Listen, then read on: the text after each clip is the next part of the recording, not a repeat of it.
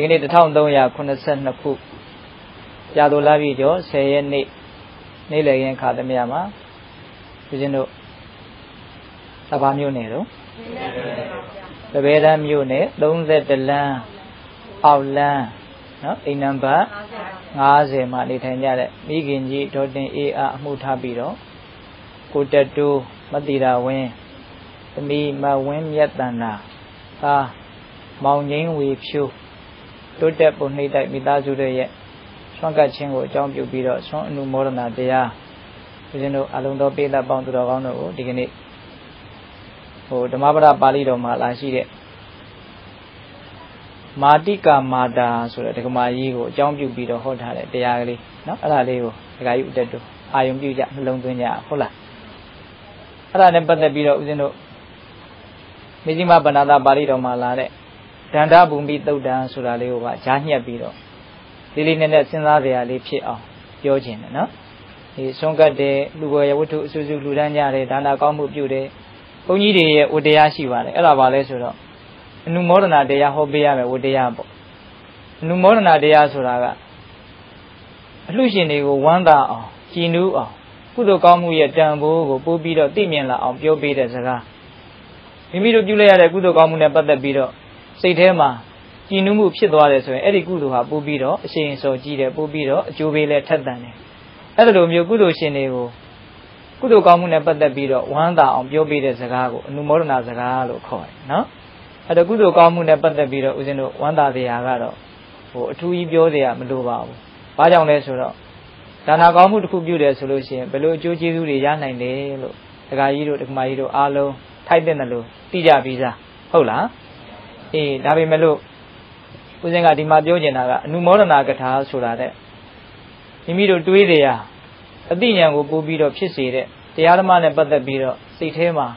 အေးချမ်းမှုကိုဖြစ်စေမဲ့အကြောင်းအရာလေးကိုနည်းနည်းလေးရွေးပြီးတော့ပြောချင်တာနော်ဒကာကြီးကိုလက်တိုးရနော်အဲ့တော့အနုမောဒနာဆွမ်းကတ္တာနဲ့ပတ်သက်ပြီးတော့တအားကြီးတော့ပါမှာမဟုတ်သို့တော်လည်းပဲဟိုဘဝမှာနေစဉ်နေစဉ်ထိုင်စဉ်အတွင်းမှာအသုံးချဖို့အတွက်တော့အများကြီးပါပါလိမ့်မယ်ဟုတ်လား မြတ်စွာဘုရားဇေတဝန်အကြောင်းတိုင်းမှာသတင်းသုံးတော့မာတိကာမာတာဆိုတဲ့ဒကမာကြီးကိုအကြောင်းပြုပြီးတော့ဂါထာလေးတစ်ပုဒ်ဟောထားတာရှိတယ်အဲ့ဒါဘာလဲဆိုတော့ဒုံနိခသလဟုနောယထာကာမနိပါတိနောစိတ်တတဓမ္မထောတာတို့စိတ်တန်တန်တန်ဒုက္ခဝဟံတဲ့ဒုံနိခသနှိမ်နှင်းမှုရအလွန်ခက်ပေထသောလဟုနောအလွန်လျင်မြန်ပေထသော ယထာကာမနိပါတိနံအလိုရှိရာအာယုန်တို့၌ကြာရောက်လေရှိသော စိတ်တတစိတ်ကိုဓမ္မထောယင်ကြီးလိမ်မအောင်ဆုံးမနိုင်ခြင်းသည်တာဓုကောင်းလှပေ၏ဒန္တန်ယင်ကြီးလိမ်မာသောဝါဆုံးမသဖြင့်ယင်ကြီးလိမ်မာသောစိတ်တန်စိတ်သည်ဒုက္ခဝဟံချမ်းသာဒုက္ခကိုပေးတတ်ပါပေ၏တဲ့ဂါထာလေးကအနှစ်သာရအပြည့်ရှိတယ်နော်ဒကာကြီးကိုတက်တို့ရစိတ်ကိုမြတ်စွာဘုရားကအဲ့ဒီမှာစိတ်ရဲ့အစွမ်းတတ္တိကိုဟိုစိတ်ရဲ့ ပင်ကိုယ်တဘာဝ၃မျိုးပြောထားတယ်ဒုံနိကဟတစိတ်ဟာနိုင်ဖို့သူ့ကိုနိုင်ဖို့အင်မတန်ခက်တယ်တဲ့နော်စိတ်ကိုဒီနာမသွားပါနဲ့ဆိုလို့လေသူကနားထောင်ခြင်းမှထောင်မယ်ဟုတ်လားဒါတွေမကြံပါနဲ့ဆိုလဲသူကကြံ့ကျင်ကြံမယ်တောကပြည့်စရာစိတ်ဆင်းရဲတရားတွေကိုစိတ်ကရောက်မသွားပါနဲ့လို့ပြောလေသူရောက်ချင်းရောက်သွားတာပဲသူ့ကိုနိုင်ဖို့နှိမ်နှင်းဖို့ပါလေအင်မတန်ခက်တယ်တဲ့အဲ့ဒါကိုဒုံနိကဟတသူ့ကိုနိုင်ဖို့နှိပ်ဖို့အင်မတန်ခဲရင်းတဲ့ လဟုနောတဲ့မြန်လိုက်တာလည်းမပြောနဲ့တော့ဖြစ်ချင်းပြချင်းအင်မတန်မြန်တယ်နော်လှစ်ကနေလှစ်ကနေနေအောင်စိတ်ကကိုကမသိသေးဘူးစိတ်ကရောက်ပြီးပြီအဲ့ဒါတော့မြန်တယ်ပေါ့နော်ဒုံနိခသလဟုနောယထာကာမနိပါတိနောအလိုရှိရာအာယုံကိုကြခြင်းရာယုကြတတ်တဲ့သဘောရှိတယ်ဒါကတော့မသိတော့ဘူးဒီအာယုန်နေကျက်စားလို့တော့မကောင်းဘူးလို့ကိုယ့်ရဲ့အသိဉာဏ်ကသိပြီမလို့သူကတခါတလေအဲ့ဒီနေရာမှာရောက်ချင်ရောက်တယ်နော်စီးမရှိကံမရှိ နော်အထိမ်းမရှိအကုမရှိတကယ့်ကိုပဲဘယ်သူမှလည်းမြင်ရတာမဟုတ်လေတော့သွားခြင်းရသွားရောက်ခြင်းရရောက်ပြီးတော့သူ့စိတ်တိုင်းကြကြခြင်းရကိုကြတတ်တဲ့သဘောရှိတယ်တဲ့စိတ်ရဲ့သဘောဟာနော်အဲ့ဒါလိုမျိုးနှိမ်နှင်းဖို့ခက်တဲ့ဖြစ်ချင်းပြချင်းအင်မတန်လျင်မြန်တဲ့သူကြားရင်တဲ့နေရာကိုကြားတဲ့သဘောရှိတယ်အဲ့ဒီစိတ်ကိုကြောင်းကျိုးမြင်သည့်ပညာရှိဟာဆုံးမမယ်ယဉ်ကျေးအောင်ဆုံးမမယ်ဆိုရင်အင်မတန်ကောင်းတယ်တဲ့စိတ်တတ်စိတ်ကို ဓမ္မထောယဉ်ကျေးလိမ္မာအောင်ဆုံးမခြင်းဒီတာဓုကောင်းလာပြီတဲ့ခုပြစ္ဆုတ်ပံလည်းကောင်းတယ်တန်လျာလည်းကောင်းတယ်ဒန္တံဆုံးမသဖြင့်ယဉ်ကျေးသော စိတ်တန်စိတ်သည်ဒုက္ခဝဟံမိမိလိုချင်တဲ့လောကီချမ်းသာလောကုတ္တရာချမ်းသာဆိုတဲ့ချမ်းသာဒုက္ခအမျိုးမျိုးကိုပေးနိုင်စွမ်းတတ္တိရှိတယ်တဲ့ခုဘဝမှာကိုလိုချင်တဲ့ချမ်းသာဒုက္ခတွေကိုရရှိဖို့အတွက်မိမိကိုယ်တိုင်မိမိအသိဉာဏ်ဥရှိပြီးတော့ယဉ်ကျေးအောင်လိမ္မာအောင် ထိန်းချုပ်ပြီးတော့ဆုံးမထားတဲ့ဒီယဉ်ကျေးတဲ့စိတ်ကလေးကသာလေမိမိလိုချင်တဲ့ချမ်းသာဒုက္ခကိုပေးနိုင်မယ်လို့ဒကာဓမ္မတို့ဦးဇင်းတို့အဲ့လိုသဘောပေါက်ရမယ်နော်ကိုယ်စိတ်ကိုကိုမနိုင်ဘူးမဆုံးမနိုင်ဘူးစိတ်တွေကရိုင်းဆိုင်နေပြီလူကျင်မှုတွေကကြီးထွားနေတယ်မကျေနပ်မှုတွေကထိကနေရှိဖြစ်လာတယ်မိမိကြောက်ရောက်ပဲနေမယ်အဲ့လိုပေါ့ပေါ့တန်တန်စိတ်ကိုဆုံးမခြင်းနှိတ်ကိုခြင်းမရှိဘဲနဲ့ပေါက်လို့ပဲစားပြစ်ထားမယ်ဆိုလို့ရှိရင်တော့အဲ့ဒီစိတ်က မိမိတို့လိုချင်တဲ့ချမ်းသာဒုက္ခကိုမပေးနိုင်တဲ့အပြင်ဆင်းရဲတွေကိုတောင်ပေးအောင်မယ်သဘောပေါက်တယ်နော်အေးဒါကြောင့်စိတ်ကိုမိမိတို့ဆုံးမမယ်ဆိုလို့ရှိရင်အဲ့ဒီဆုံးမလို့ယဉ်ကျေးလာတဲ့စိတ်ဟာဒီနေရာမှာယဉ်ကျေးတယ်ဆိုတာကဟိုကာယကံယဉ်ကျေးမှုဝစီကံယဉ်ကျေးမှုမနောကံယဉ်ကျေးမှုလို့အမျိုးမျိုးရှိရနော်သူချစ်သူရှင်မှာဟုတ်လားကိုကိုလေးကိုင်းညှုတ်ပြီးတော့တကယ်နူးနူးညံ့ညံ့သိမ့်သိမ့်မွေ့မွေ့လေးသွားတယ်ဒါလည်းယဉ်ကျေးတာပါပဲဟုတ်လားအေးချူချူသားသားလေးအပြစ်ကင်းကင်းလေး မှန်ကန်တဲ့စကားကိုပြောတယ်ဒါလည်းယဉ်ကျေးတာပါပဲနော်သို့တော့တကယ်ယဉ်ကျေးမှုအစ်စ်ကတော့စိတ်ထဲမှာတက်မဲ့မှုတွေနော်မကျေနပ်မှုတွေအဲ့ဒါတွေကင်းနေတဲ့အချိန်မှဒါလည်းတကယ်စိတ်ရဲ့ယဉ်ကျေးမှုရှိတယ်လို့ပြောလို့ရတယ်နော်မြတ်စွာဘုရားဟောထားတာနောက်ပိုင်းတော့ဦးဇင်းတို့သိရပါလိမ့်မယ်တကယ်ယဉ်ကျေးတယ်ဆိုတာဘယ်လိုအရာမျိုးကိုမှတကယ်ယဉ်ကျေးတယ်လို့ခေါ်တယ်လဲဆိုတာနောက်ပိုင်းတော့ပါလိမ့်မယ်သိလားဒီနေရာမှာတော့ဒီဂါထာလေးအရာမှတ်ရမှာကဘာလဲဆိုတော့ စိတ်ဟာနှိမ်နှင်းဖို့အင်မတန်ခက်တယ်နော်လင်းလင်းမြန်မြန်ဖြစ်တဲ့ပြတ်တဲ့သဘောရှိတယ်သူကြရင်တဲ့အာယုံကိုအထင်းအကုတ်မရှိဘယ်သူမှမြင်ရတာမဟုတ်လေတော့စီးမရှိကမ်းမရှိမသိမ့်တော်တဲ့နေရာတွေကိုလည်းရောက်ရောက်သွားတတ်တယ်ဟုတ်လားအဲ့ဒါလို့စိတ်ကိုပညာရှိတဲ့လူဟာယဉ်ကျေးအောင်လိမ္မာအောင်အနှစ်သာရရှိအောင်ဆုံးမရမယ်အဲ့ဒါလို့မိမိတို့ကဉာဏ်ပညာဥရှိပြီးတော့ဆုံးမနိုင်မယ်ဆိုရင်အဲ့ဒီဆုံးမထားတဲ့စိတ်ဟာချမ်းသာဒုက္ခအမျိုးမျိုးကိုတကယ်ကိုပေးပါလိမ့်မယ်တဲ့ ငါဖះကချမ်းသာတွေပေးမယ်လို့ဖះကအဲ့ဒါလိုပြောသလားမပြောဘူးနော်မပြောဘူးနော်ဘယ်လိုအရာကချမ်းသာကိုပေးမှာလို့ပြောတာတော့ဆုံးမသဖြင့်ယဉ်ကျေးသောစိတ်သည်ချမ်းသာဒုက္ခကိုပေးလိမ့်မယ်လို့ပြောတာအဲ့ဒါကိုချမ်းသာကိုရခြင်းရဲ့ကိုစိတ်ကိုလိမ္မာအောင်ယဉ်ကျေးအောင်အပြစ်ကင်းအောင်ဆုံးမဖို့ပဲရှိနော်သာသနာတော်မှာလာတဲ့ဦးဇင်းတို့စာပေတွေအဆုံးအမတွေအားလုံးဟာလည်းပဲဒီစိတ်ကိုပဲအမျိုးမျိုးလိမ္မာအောင်ယဉ်ကျေးအောင်ကောင်းကောင်းမွန်မွန်တွေးတဲ့ခေါ်တဲ့ကြံတဲ့ နေတဲ့ထိုင်တဲ့အောင်သင်ပြထားတာလေးကြီးပဲဟုတ်လားတကယ်တမ်းကတော့နော်ဒါကြောင့်အဲ့ဒါလောက်အနှစ်သာရရှိတဲ့ဂါထာလေးကိုမြတ်စွာဘုရားဘာကြောင့်ဟောတယ်လဲဆိုတော့ဩခြင်းရဲ့အကြောင်းလေးကလည်းစိတ်ဝင်စားစရာကောင်းတယ်နော်တခါကြီးတို့ရဲ့မြတ်စွာဘုရားဘာကြောင့်ဟောတော့ဆိုတော့ဦးဇင်းတို့သာဝတိမြို့နယ်မနီးမဝေးမှာမာတိကာဆိုတဲ့ရွာတရွာရှိတယ်အဲ့ဒီရွာကြီးကသူကတောင်ချင်ရင်းမှာရှိတာသူ့ရဲ့ခေါင်းမှာတောင်တန်းကြီးတစ်ခုရှိတယ်နော်အဲ့တော့ဟိုဘက်ကအင်မတန်တိတ်ဆိတ်တယ်ပေါ့ဒီဘက်ကတော့မြို့တွေရွာတွေပေါ့ အဲ့ဒီတောင်ချင်ရင်းမှာမာတိကာဆိုတဲ့ရွာကြီးအင်ကြီးအင်မတန်များတယ်အဲ့ဒီမာတိကာရွာမှာဟိုရွာကိုအုပ်ချုပ်တဲ့တကြီးကလည်းမာတိကအဲ့ဒီမာတိကရဲ့အမေမာတိကမာတာနော်သူသူ့ရဲ့မူရင်းနာမည်ကဘယ်သူရဲ့လို့မသိတော့ပါဘူးအဲ့ဒီမာတိကမာတာဆိုတဲ့ဒကမာကြီးကပင်ကိုစိတ်ရင်းသဘောထားလဲကောင်းတယ်တရားတရားနဲ့လည်းပြည့်စုံတယ်ဒီနေ့တော့သူတို့ရွာကိုယဟန်တော်6ကြိတ်ရောက်လာတယ်သူတို့ရွာတွေကတိတ်ဆိတ်တယ် တောတွေတောင်တွေနဲ့လည်းနီးတယ်ဆိုပြီးတော့မြတ်စွာဘုရားတွေကကမ္မထန်တရားတွေဘာတွေတောင်းပြီးတော့ကိုကျိုးစီးပွားအစစ်အမှန်ကိုကျင့်ကြံကြိုးကိုအထုတ်မယ်ဆိုပြီးတော့အဲ့ဒီနေရာကိုယဟန်တော်6ကြိတ်ရောက်လာတာရောက်လာပြီးတော့တစ်ပင်ရင်းလေးတွေအောက်မှာအသီးသီးသတင်းသုံးကြတော့ဒကမာကြီးကယဟန်တော်တွေတို့ရွာနာအနီးတစ်ပိုက်ကိုရောက်လာတဲ့လို့ကြားတော့အဲ့ဒီဒကမာကြီးကအဲ့ဒီယဟန်တော်တွေစီကိုရောက်လာပြီးတော့ရှင်ဘုရားတို့ဘဲကိုဝါဆူမှာတော့ဘုရားဟာဒကမာကြီးဝါဆူဖို့နေရာဦးဇင်းတို့ဘုန်းကြီးတို့ရှာတော့ရှိပါသေးတယ်ဆိုတော့ဒကမာကြီးကသဘောပေါက်တယ် အဲ့ဒါလို့ဆိုလို့ရှိရင်ရှင်ဘုရားတို့ဘယ်မှမကြွပါနဲ့ဘုရား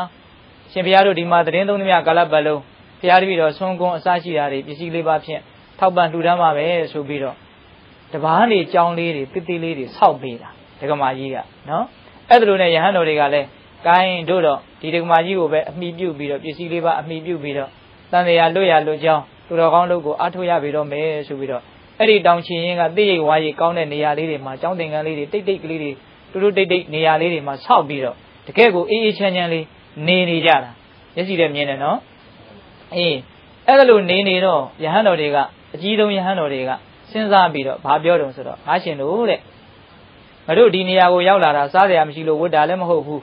ဒီအလုပ်ကိုလုပ်မယ်ဆိုတာကတန်တရားဘုတ်ကလုပ်ဖို့အတွက်လုပ်ကြမှာအဲ့ဒီတော့မိမိရော့ရော့တို့နေလို့မသိဘူးတကယ်ဆိုလို့ရှိရင်ဟိုအပယ်လေးပုံဟာတို့ရဲ့အမြဲတမ်းနေနေထိုင်တဲ့အိမ်ကြီးလိုဖြစ်နေပြီးတော့ငရဲဟာလည်းပဲ အမြဲတမ်းတကားပွင့်နေတယ်တဲ့သူတို့ပြောပုံလေးကဟုတ်လားဒါကြောင့်မလို့တို့ဟာမြတ်စွာဘုရားရဲ့ဟိုအလိုဆန္ဒဆိုတာအင်ပဒံမြင့်မြတ်တယ်မြတ်စွာဘုရားရဲ့ခြေရာနောက်ကထက်ချက်မကွာလိုက်နေပြီမလို့မြတ်စွာမြတ်စွာဘုရားဆိုတာအဲ့လိုနီးနဲ့နှစ်သိမ့်လို့နှစ်သိမ့်ဖို့လွယ်တာမဟုတ်ဘူးတဲ့မြတ်စွာဘုရားပြောတဲ့အတိုင်းကျင့်မှမြတ်စွာဘုရားကိုနှစ်သိမ့်ဖို့လွယ်တာတဲ့စာလေးလိုဖြစ်နေတယ်ဆိုလိုတာကဘာလဲဆိုတော့ဘုရားဆိုတာသူ့နောက်အမြဲတမ်းလိုက်နေတာကိုသဘောကျတာမဟုတ်ဘူးသူခိုင်းတဲ့အတိုင်းလုံးမသာလျှင်သဘောကျတယ်လို့ပြောတာ နော်အဲ့ဒါလိုပြောပြီးတော့ယဟန်တော်တွေကဒီဒီနေ့ကစပြီးတော့တို့အကြောင်းမရှိရင်စကားမပြောကြီးဟုတ်လားအကြောင်းမရှိရင်စကားမပြောကြီးအဲ့ဒါနှစ်ပါးအတူတူမနေကြီးနေပြီးတော့တဏှာဒီမှာခွဲပြီးတော့တကယ်လို့နေမကောင်းမှုဘာဘူးဖြစ်တယ်ဆိုရင်တို့အကြောင်းခလေကောင်မှာရှိတဲ့ကြောက်စီကြီးကိုထိုးလိုက်ရင်အကုန်လုံးစုလာမယ်ကျန်တဲ့အချိန်မှာစကားလည်းမပြောနဲ့နှစ်ပါးလည်းအတူမနေနဲ့ဆိုတော့ကိုချမ်းသာတဲ့နေရာတွေကကိုယ့်ကိုတိတ်တိတ်ဆိတ်ဆိတ်လေးဘလို့နေတာဟုတ်လားအဲလိုနဲ့တနေ့တော့မာတိကမာတာဒကမာကြီးက အဲ့ဒီယဟန်တော်တွေနေတဲ့အကြောင်းတော်ကိုရောက်လာရောက်လာတဲ့အခါကျတော့ယဟန်တော်တွေကတဘာမှမတွေ့ဘူးဘယ်တွေ့မှာတော့သူတို့နေကျင်တဲ့နေရာလေးတွေမှာတိတ်တိတ်ကလေးတွေနေနေကြတာကိုဟုတ်လားအဲ့ဒါနဲ့အဲ့ဒီနာရှိတဲ့ရွာလေးနာကလူတွေကိုယဟန်တော်တွေလည်းတဘာမှမရှိပါဘူးရှိတယ်ဟာငါလည်းမတွေ့ခဲ့ပါဘူးဟာသူတို့ကိုတွေ့ရင်လို့ရှိရင်အဲ့ဒီကြောက်စီကိုသွားပြီးတော့ထိုးလိုက်လို့ပြောတယ်တဲ့ပြောတဲ့အခါကျတော့ဒကမာကြီးကကြောက်စီသွားထိုးတော့ယဟန်တော်လေးတွေကသူတို့သတင်းသုံးရနေရာအသီးသီးကနေထွက်ကြွလာအဲ့ဒီတော့မှဒကမာကြီးကမေးတယ်အရှင်ဘုရားတို့ဘယ်နဲ့တော့ ခိုက်ရန်ငင်းခုံမှုပြုတ်ထားကြသလားတယောက်နဲ့တယောက်ရန်ရန်ဖြစ်ထားကြသလားအတူတူမနေတာကိုဟုတ်လားအဲ့တော့ဒကမာကြီးကျုပ်တို့ရန်ဖြစ်ထားတာမဟုတ်ဘူးဒီလိုဒီလိုပဲမြတ်စွာဘုရားရဲ့အဆုံးအမတွေကိုလိုက်နာကျင့်သုံးဖို့အရှင်ဘုရားတို့ဒါနဲ့ဘာမြတ်စွာဘုရားရဲ့အဆုံးအမဆိုတာဘယ်လိုလုပ်တာရိုးရိုးပဲမေးတာနော်ဒကမာကြီးကအဲ့တော့ရဟန်းတော်တွေကဘာပြန်ပြောတုံးဆိုတော့ဒီ32ကုဋ္ဌာတနော်ဆံမင်မွေးခြင်းခြေသေးလက်သေးဒီလူတွေရရနော်အေးအဲ့ဒီ32ကုဋ္ဌာတကိုအဖမှန်အထက်ထက် စဉ်းစားဆင်ခြင်တယ်ပြီးပြီးတော့မိမိတို့ရဲ့ခန္ဓာကိုယ်အတ္တဘောကိုမမြဲဘူးဆင်းရဲတယ်အနှစ်သာရမရှိဘူးလို့လက္ခဏာရေးသုံးပါမြင်အောင်ထင်အောင်ရှုမှတ်ပွားများခြင်းဆိုတဲ့အလုပ်ကိုကျွတ်တုလုပ်ကြတာအဲ့ဒါဘုရားအဆုံးမပဲလို့အဲ့ဒါလိုပြောတယ်တဲ့ပြောတဲ့အခါကျတော့ဒကမာကြီးကရိုးရိုးပါပဲအရှင်ဘုရားအဲ့ဒါလို32ခုထာသားကိုစီးပြန်းတဲ့အလုပ်ခန္ဓာကိုယ်အတဘောရဲ့မမြဲခြင်းကိုမြင်အောင်လုပ်တဲ့အလုပ်ကိုအရှင်ဘုရားတို့မှလာလုပ်လို့ရသလားဘုရားတပည့်တော်မတို့ကလုပ်လို့မရဘူးလားလို့ အဲ့ဒါလိုမေးတယ်မေးတဲ့အခါကျတော့ယဟန်တော်တွေကဒကမာကြီးတို့လည်းလုပ်လို့ရပါတယ်ဒကမာကြီးတို့လှုပ်ချင်တယ်ဆိုလို့ရှိရင်ပြောပြမယ်ဆိုပြီးတော့အဲ့ဒီဒကမာကြီးမေးလျှောက်တော့အဲ့ဒီမှာယဟန်တော်တွေက32ခုထာသားကိုဘယ်လိုစီးပြန်းရတယ်ခန္ဓာကိုယ်ကိုမြင်အောင်နော်ရုပ်ပိုင်းဆိုင်ရာနာမ်ပိုင်းဆိုင်ရာမြင်အောင်ဘလို့ကြည့်ရတယ်ဘလို့သတိထားရတယ်ဆိုပြီးတော့ဦးဇင်းတို့အတူတူအားဖြင့်ဆိုရင်တော့32ခုထာတာရှုမှတ်နည်းနဲ့တတိပဋ္ဌာန်ရှုမှတ်နည်းပေါ့နော်အဲ့ဒါကိုဒကမာကြီးကိုသင်ပေးသင်ပေးတော့ဒကမာကြီးကဝမ်းသာအားရအိမ်ပြန်သွားပြီးတော့ အချိန်ရှိသေး၍သူကအဲ့ဒါပဲလုပ်နေတာနော်ဒကမာကြီးကဟုတ်လားသူကစီးပွားရေးလည်းသိပြီးတော့ကြိုးစားရဟာမတူပါဘူးသူသားကရွာတကြီးကိုဗျဟုတ်လားအဲ့ဒီလိုနဲ့သူကြိုးစားရင်းနဲ့ကျောင်းကယဟန်တော်တွေကတပါးမှ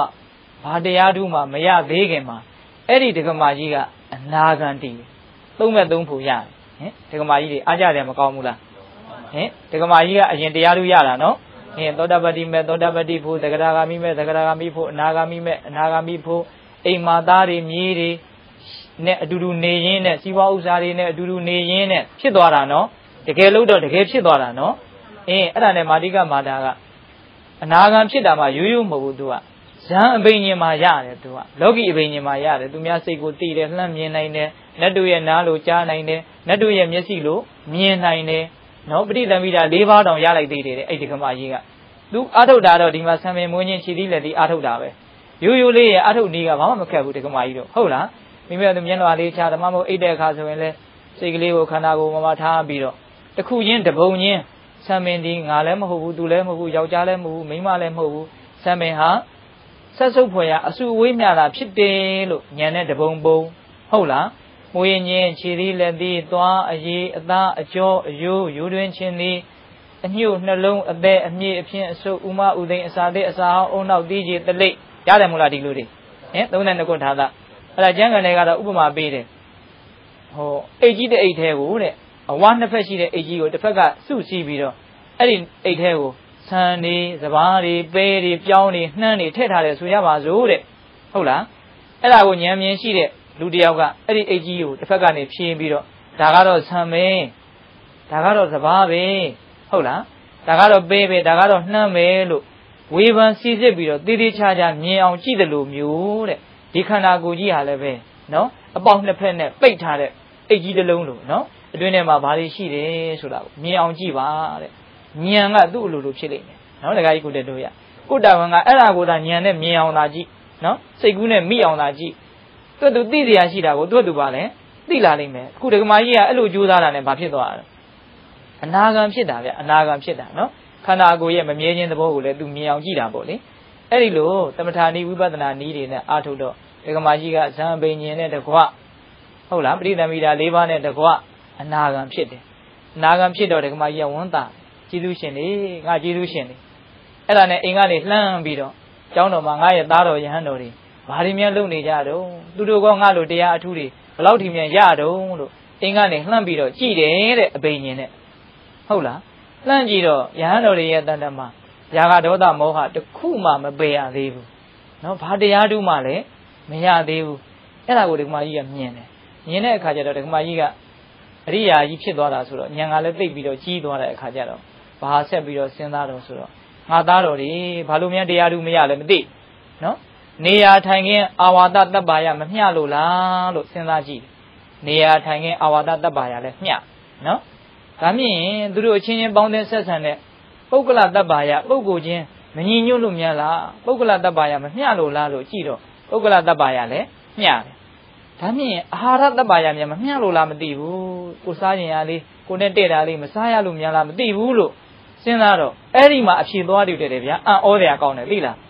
အဲ့ဒီရဟန်းတော်တွေတရားဓုမရတာအာဟာရတ္တပါယမမျှလို့တဲ့ဟင်အတိတာဝင်ရနော်အာဟာရတ္တပါယမမျှလို့တဲ့ အဲသူတို့ခန္ဓာကိုယ်နဲ့သူတို့ဓာတ်နဲ့သူတို့စိတ်ဓာတ်နဲ့ကိုက်ညီတဲ့အာဟာရကိုအဖုံးပေးရလို့အာဟာရနဲ့ပတ်သက်ပြီးတော့ဒီခန္ဓာကိုယ်ဟာသဟဇာတမဖြစ်လို့တရားဓုကိုမရတာတဲ့အဲ့တော့ဒကမာကြီးကအိမ်ကနေနေတိုင်းနဲ့လင်းလာပြီဆိုရင်ဘဲကိုတော်ဘဲကိုတော်ကအခုချိန်မှာဘာနဲ့ဘာနဲ့တဲ့လောက်တယ်သူကတကိုးပါတခါတည်းရထားတာဟုတ်ဗျဟုတ်လားအဲ့ဒါနဲ့အိမ်ကနေပြီးတော့လိုလေသေးမရှိချက်ပြုတ်ပြီးတော့ကြွေးတာယဟန်တော်တွေကငါတို့စိတ်ကိုဒီဒကမာကြီးကတိလို့ဒီလိုလုံနေတာလို့သူတို့မသိဘူးနော်မသိဘူးမသိဘူး အဲ့ဒါနဲ့အဲ့ဒီလိုအာဟာရတ္တပါယကိုမျှအောင်ဒကမာကြီးကအကျိုးကျေးဇူးပြုလိုက်တဲ့အခါကျတော့အဲ့ဒီယဟန်တော်တွေကအဲ့ဒီဝါတွင်းမှာပဲပဋိသင်္ပိတာ၄ပါးအဘိညာဉ်တရားတွေနဲ့ပြည့်စုံတဲ့ယဟန္တာတွေကိုယ်စီဖြစ်ကြတယ်တဲ့ယဟန္တာ6ကြိတ်ဖြစ်တယ်အဲ့ဒီလိုယဟန္တာဖြစ်ပြီဆိုတော့မှမတို့ဘာကြောင့်ဘလို့လွယ်လွယ်ကူကူယဟန္တာဖြစ်တုံးလို့သူတို့စဉ်းစားလိုက်တဲ့အခါကျတော့ဒီတက္ကမကြီးကတို့စိတ်ထဲမှာဘာတွေဖြစ်နေတာတို့ဘာတွေကိုဖုံးပေးခြင်းနေတာ ဒုက္ခန္တာကိုနဲ့ဘယ်ဟာတွေကတဲ့မှာဆိုတာကိုသိပြီးတော့သူ့စိတ်နဲ့သိပြီးတော့တို့ကိုထောက်ပံ့လို့တို့သလိုတရားဓုတရားမြတ်ကိုချမ်းချမ်းသာသာရတာပါလားဒါတို့ရဲ့ကျေးဇူးရှင်ပဲဒီဒကမာကြီးကိုအမိပြုပြီးတော့တို့တန်တရားဝုတ်ကလွတ်ပြီဆိုပြီးတော့ဝမ်းမြောက်ဝမ်းသာဟုတ်လားအဲ့ဒါနဲ့သူတို့ရတဲ့တရားအထုကိုမြတ်စွာဘုရားကိုရှောက်မယ်ဆိုပြီးတော့အဲ့ဒီဒကမာကြီးရဲ့ရွာကနေပြီးရဟန်းတော်6ကြိမ်ထွက်လာဟုတ်လားဟမ်ဒကာကြီးဒကမာကြီးညာစိတ်ဝင်စားရလားဟောလားဟင်အင်းအဲ့ဒါလိုထွက်လာတဲ့အခါကျတော့ မြတ်စွာဘုရားကြီးရောက်တော့မြတ်စွာဘုရားကရှင်သားတို့ဘယ်နဲ့တုံးအားလုံးလောကုတ္တရာချမ်းသာရခဲ့ကြရဲ့လားဆိုတော့အားလုံးအစဉ်ပြေခဲ့တဲ့အကြောင်းရခဲ့တဲ့အကြောင်းအထူးသဖြင့်မာတိကရွာကမာတိကမာတာဆိုတဲ့ဒကမာကြီးရဲ့ကြီးစုကြောင့်ဖရာတပည့်တော်တို့မညံဖုန်ညံကိုလွယ်လွယ်ကူကူချမ်းချမ်းသာသာရခဲ့ကြောင်းပါလို့လျှောက်တယ်အဲ့ဒီမှာယဟန်တန်ဃာရဲ့ဟိုလောကမှာမာတိကမာတာဆိုတဲ့ဒကမာကြီးဟာသူတစ်ပါးစိတ်ကိုသိတယ်ယဟန်တော်ရဲ့အလိုဆန္ဒကိုကျွမ်းကျင်တယ်လိမ္မာတယ် အင်မတန်တော်တဲ့ဒကမာကြီးလို့နာမည်ကြီးတယ်နော်နာမည်ကြီးတော့ယဟန်တော်လေးတစ်ပါးကစဉ်းစားတယ်တဲ့ငါလည်းပဲမညံဖုန်ညံရအောင်သာသနာပေါင်းဝင်ပြီးတော့ယဟန်ပြုနေတာအဲ့ဒီတော့ဇေတဝန်ကျောင်းတော်မှာနေပြီးတော့တရားအထုတ်တာတဲ့အဲ့ဒီမာတိကမာတာဒကမာကြီးရှိတဲ့ရွာကိုငါသွားမယ်ဟုတ်လားသွားပြီးတော့အဲ့လိုဆိုလို့ရှိရင်ဒကမာကြီးကငါစိတ်သဘောလေးတွေသိပြီးတော့အဲဒကမာကြီးကိုအမိပြုပြီးတော့ငါလည်းပဲချမ်းချမ်းသာသာနဲ့မဲ့ညံဖူညံရဟန်ခေါင်းရဲ့ဆိုပြီးတော့တယောက်တည်းဟုတ်လား ဘယ်သူမှမတိုင်ပင်မဲနဲ့တပါးတဲ့သပိတ်သင်္ကန်းလေးယူပြီးတော့မာတိကမာတာယာကိုသူထွက်လာကြောင်းရောက်ကြောင်းရောက်တဲ့အခါကျတော့ကြောင်းကရဟန်းတော်တွေကပြန်ကြွသွားသတင်းမသုံးတာကြာတော့ကင်းမေးတွေတဲ့အမိုက်တွေဖုံးပြီးတော့နေတာအဲ့ဒါနဲ့သူကဖုန်လေးပါလေးခါထိုင်းပြီးတော့อืมဒီအချိန်မှာဒကမာကြီးကတစုံတယောက်တော့အကြောင်းကိုတန်ရှင်းရေးလုံးမဲ့လူကိုလွတ်လိုက်ရင်တော့ကောင်းမှာပဲလို့စဉ်းစားတယ်တဲ့ဟုတ်လားအဲ့ဒီလိုစဉ်းစားတော့ဒကမာကြီးကအိမ်ကနေလှမ်းကြည့် လှမ်းကြည့်တော့ငါသားတော်တစ်ပါးအကြောင်းတော်ကိုရောက်နေတယ်အမိုက်ရှင်းမဲ့လူအကြောင်းကိုတန်ရှင်းရေးလုံးမဲ့လူသူရကျင်နေတယ်ဆိုပြီးတော့သူ့ရဲ့အိမ်ကအခိုင်းစီတယောက်ကိုအကြောင်းကိုလွှတ်လိုက်တယ်တမျက်စေးနဲ့ဘာနဲ့လွှတ်လိုက်တယ်အဲ့တော့အဲ့ဒီလူကတန်ရှင်းရေးလုပ်ခဏနေတော့ရဟန်းတော်အင်းအကြောင်းလည်းတန်ရှင်းသွားပြီငါခရီးကလည်းလာတာပန်းတယ်အဲ့တော့တတိဖြော်ရည်လေးများလာပြီးတော့ကဲ့ရင်တော့ကောင်းပါပဲလို့စဉ်းစားတယ်တဲ့ဒကာယူတဲ့တို့ရဟုတ်လားအဲ့တော့ဒကာဒကမာကြီးကယဟန်တော်ရဲ့စိတ်ကိုသိပြီးတော့တတိဖြော်ရည်လေးဒီခါတဲ့ဇုံတယောက်ကို ဖြော်ပြီးတော့သွားပြီးတော့ကိုခိုင်းတယ်ဒီတတိဖြော်ရည်လေးဖုံးပေးဖုံးပေးပြီးတော့မနဲ့လင်းတဲ့အခါကျတော့ယဟန်တော်ကစဉ်းစားပြန်နေတဲ့အေးမနဲ့တော့လင်းလာပြီညကလည်းဘာမှမဖုံးပေးရတော့ဆုံးခံသွားဖို့အတွက်ပိုက်ထဲမှာဘာမှလည်းအစာကမရှိအဲ့ဒီတော့ယာကူကလေးနဲ့ဟင်းလျာလက်တုပ်ကလေးများလာဖို့ရင်တော့အတိုင်းထက်လွန်မယ်လို့စဉ်းစားပြန်နေတဲ့ယဟန်တော်ကစဉ်းစားတော့အဲ့ဒါလိုပဲယာကုပြော့ပြော့လေးနဲ့ဟင်းလျာလက်တုပ်ကလေးနဲ့လာပြီးတော့ပို့အဲ့တော့သူဖုံးပေးဖုံးပေးပြီးတော့อืม ဒီနေ့ဒီအချိန်မှာတော့ငါဘယ်ဟင်းလေးကိုစားရင်လားအဲ့ဒါကိုဒကမာကြီးကငါ့ကိုကောင်းလူရင်တော့ကောင်းပါပဲလာဖို့ရင်တော့ကောင်းပါပဲဒီနေ့တော့ရောက်အောင်ချင်းဆုံးကလည်းမသွားရင်သေးဘူးအဲ့ဒါလို့စဉ်းစားတော့ဒကမာကြီးကအဲ့ဒါကိုသိပြီးတော့ဟင်းနေထမင်းနေသူဖုံးပေးခြင်းတဲ့ဟာတွေကိုဆွမ်းဟင်းနေလာပို့လာပို့တော့ယဟန်တော်ကစဉ်းစားတယ်ငါကြံစီတိုင်းကြံစီတိုင်းသောအရာကိုဒီဒကမာကြီးကသိနေတယ်အဲ့တော့ဒီလောက်ထူးဆန်းတဲ့ဒီလောက်အစွမ်းရှိတဲ့ဒကမာကြီးကိုငါမြင်မြင်သမ်းပါပြီးတော့ဟုတ်လား အဲ့ဒါနဲ့အဲ့ဒီဒကမာကြီးကိုယ်တိုင်ကိုပဲကျောင်းကိုလာရင်ကောင်းလိုက်မှာလို့အဲ့ဒါလိုစဉ်းစားတယ်တဲ့စဉ်းစားတော့ဒကမာကြီးကအင်းငါသားတော်ယဟန်ဟာငါ့ကိုခုမြင်မြင်စိတ်တွေပေါက်နေငါ့ကိုမြင်မြင်စိတ်ပေါက်နေတယ်အဲ့ဒါကြောင့်ငါကျောင်းသွားမယ်ဆိုပြီးတော့ဒကမာကြီးကကျောင်းကိုရောက်လာကျောင်းရောက်လာတော့ယဟန်တော်ကမာတိကမာတာဒကမာကြီးဆိုတာဒကမာကြီးလားမှန်ပါဗျာဆိုတော့อืมဒကမာကြီးကျုပ်ရောက်တဲ့ကစပြီးတော့ကျုပ်စိတ်ထဲကဖြစ်ချင်တာတွေကိုခင်ဗျာအကုန်လုပ်ပေးတာနော် အဲ့တော့ဒကမာကြီးကသူများစိတ်ကိုသိသလားလို့မေးတယ်တဲ့ဒါလိုက်ကြီးမေးတာမေးတော့အရှင်ဘုရားအဲ့လိုကြီးမမေးနဲ့ပေါ့အဲ့လိုကြီးမမေးပါနဲ့ဘုရားသူများစိတ်ကိုသိသလားဒီပြင်လူတွေလည်းသူများစိတ်သိတဲ့ယဟန်တွေလည်းအများကြီးရှိတာပဲလို့ပြောယဟန်တွေကိုမေးတာမဟုတ်ဘူးသူများကိုမေးတာမဟုတ်ကျုပ်ကဒကမာကြီးကိုမေးတာလို့ပြောတယ်ပြောတော့အရှင်ဘုရားအရှင်ဘုရားကအတင်းကျပ်မေးနေမှတော့ပြောရသေးတာပေါ့အမှန်စင်စစ်တော့သူတစ်ပါးစိတ်ကိုသိတဲ့လူတွေဟာဒီတိုင်းလုပ်ကြတာပဲဘုရားတဲ့ဟော ဖြေတာလေးကဘေးကနေဝိဖြေတာနော်ဓာတ်ရိုက်တပည့်တော်သူများစိတ်သိတယ်လို့မဖြေဘူးသိလားသူများစိတ်ကိုသိတဲ့လူတိုင်းဟာဒီလိုလုပ်တတ်ကြပါတယ်လို့ပြောတော့ယဟန်တော်ကအဲ့ဒီမှာသူလန့်တော့လာမယ်နော်အစတုန်းကတော့ဒီဒကမာကြီးကိုအမိပြုပြီးတော့တရားလူတရားမြတ်ရအောင်လုပ်မယ်ဆိုတော့လာလိုက်တာအခုသူတကယ်ရောက်လာတော့မှဒကမာကြီးကတကယ်သိတယ်ဟာလို့ညဝါထင်တယ်သူတွေ့ရတယ်အခုလည်းပဲသူ့ရှိမှဝင်းခန်းနေတယ်ဝင်းခန်းနေတော့သူဘလို့စဉ်းစားတော့ဆိုတော့မဖြစ်ချေဘူးငါဒီเจ้าကထွက်ပြေးမှဖြစ်မယ် ဘာဖြစ်လို့လဲဆိုတော့ပုထုဇဉ်ဆိုတာစိတ်ကဒါကိုမသိတော့ဘူးဆိုလဲကြံကြင်ကြံတာပဲဟုတ်လားသိတော့ပါတယ်ဒီနာနေပါဆိုလဲနေခြင်းမနေမှာပဲဒီစိတ်ကိုငါအစိုးရတာမဟုတ်ဘူးတကယ်လို့များငါဟာမသိတော့တဲ့အတွေးတွေကိုများတကယ်လို့တွေးမိကြံမိတယ်ဆိုရင်ဒီဒကမာကြီးကငါ့ကိုလေဟောတခိုးကိုမီးနဲ့ထိုးပြီးတော့ရောင်တုံးကနေဆွဲကင်တယ်လို့ငါ့ကိုခိုးတော့ခိုးတယ်နဲ့တကွာမိမှာသူတော်တော်ကြောက်တယ်အဲ့ဒါဆိုရင်တော်တော်ကိုရှက်စရာလည်းကောင်းပဲအရှက်တကွဲအကျိုးနဲ့ဖြစ်တော့မှာပဲအဲ့တော့ငါဒီလိုနေရာမျိုးမှာ ငါမနေနိုင်ဘူးတူတူစဉ်းစားတာနော်အဲ့ဒါနဲ့သပိတ်သင်္ကန်းလေးပြင်ပြီးတော့ဒကမာကြီးရှိမှာပဲဒကမာကြီးကျုပ်ညံတော့မယ်တင်ကြပဲအိတ်တယ်နော်ဒကာကြီးကိုတို့ရဟုတ်လားကျုပ်ပြန်တော့မယ်အရှင်ပြဘာပြုလို့တော့ပုထုဇဉ်စိတ်ဆိုတာလွယ်တာမဟုတ်ဘူးတဲ့ဒါမကြံသင်ဘူးဆိုလဲကြံကျင်ကြံတာအဲ့ဒါကျုပ်ပြန်တော့မယ်မဟုတ်တာတွေပြန်ပြီးရင်ရှက်စရာကြီးနော်အဲ့ဒီလိုပြောတော့ဒကမာကြီးကလည်းဂိုင်းအရှင်ဘုရားဆန္ဒအတိုင်းပါပဲဆိုတော့အဲ့ဒါ တားလို့မရဘူးတခါတည်းပြန်သွားပြန်သွားပြီးတော့မြတ်စွာဘုရားဒီရောက်မြတ်စွာဘုရားဒီရောက်တဲ့အခါကျတော့မြတ်စွာဘုရားကသိတယ်ဒီယဟန်တော်အဲ့ဒီနေရာမှာနေပြီးတော့တရားအထုံးမှတရားလူတရားမြတ်ကိုရမယ်ဆိုတာသိတယ်မြတ်စွာဘုရားကဟုတ်လားဒါနဲ့ချက်သားသင်အဲ့ဒီနေရာကိုပဲပြန်သွားဟာဘုရားကြီးတော့မသွားပါရစေနဲ့ဘုရားဘာပြုလို့လဲကုရုဇဉ်ဆိုတာမကြံတဲ့နာကိုလည်းကြံတယ်ဘုရားမတွေးတဲ့နာကိုလည်းတွေးတယ်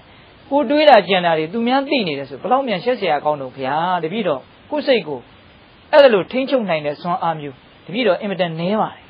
ဒါကြောင့်တပည့်တော်အဲ့ဒီနေရာကိုမပြန်မရရှိဘူးအဲ့ဒီမှာမြတ်စွာဘုရားအချက်သားချမ်းသာခြင်းတဲ့ပုဂ္ဂိုလ်ဆိုတာကိုယ့်ရဲ့စိတ်ကိုယ်သာလျှင်နိုင်နှင်းအောင်ထိမ့်သိမ့်ရ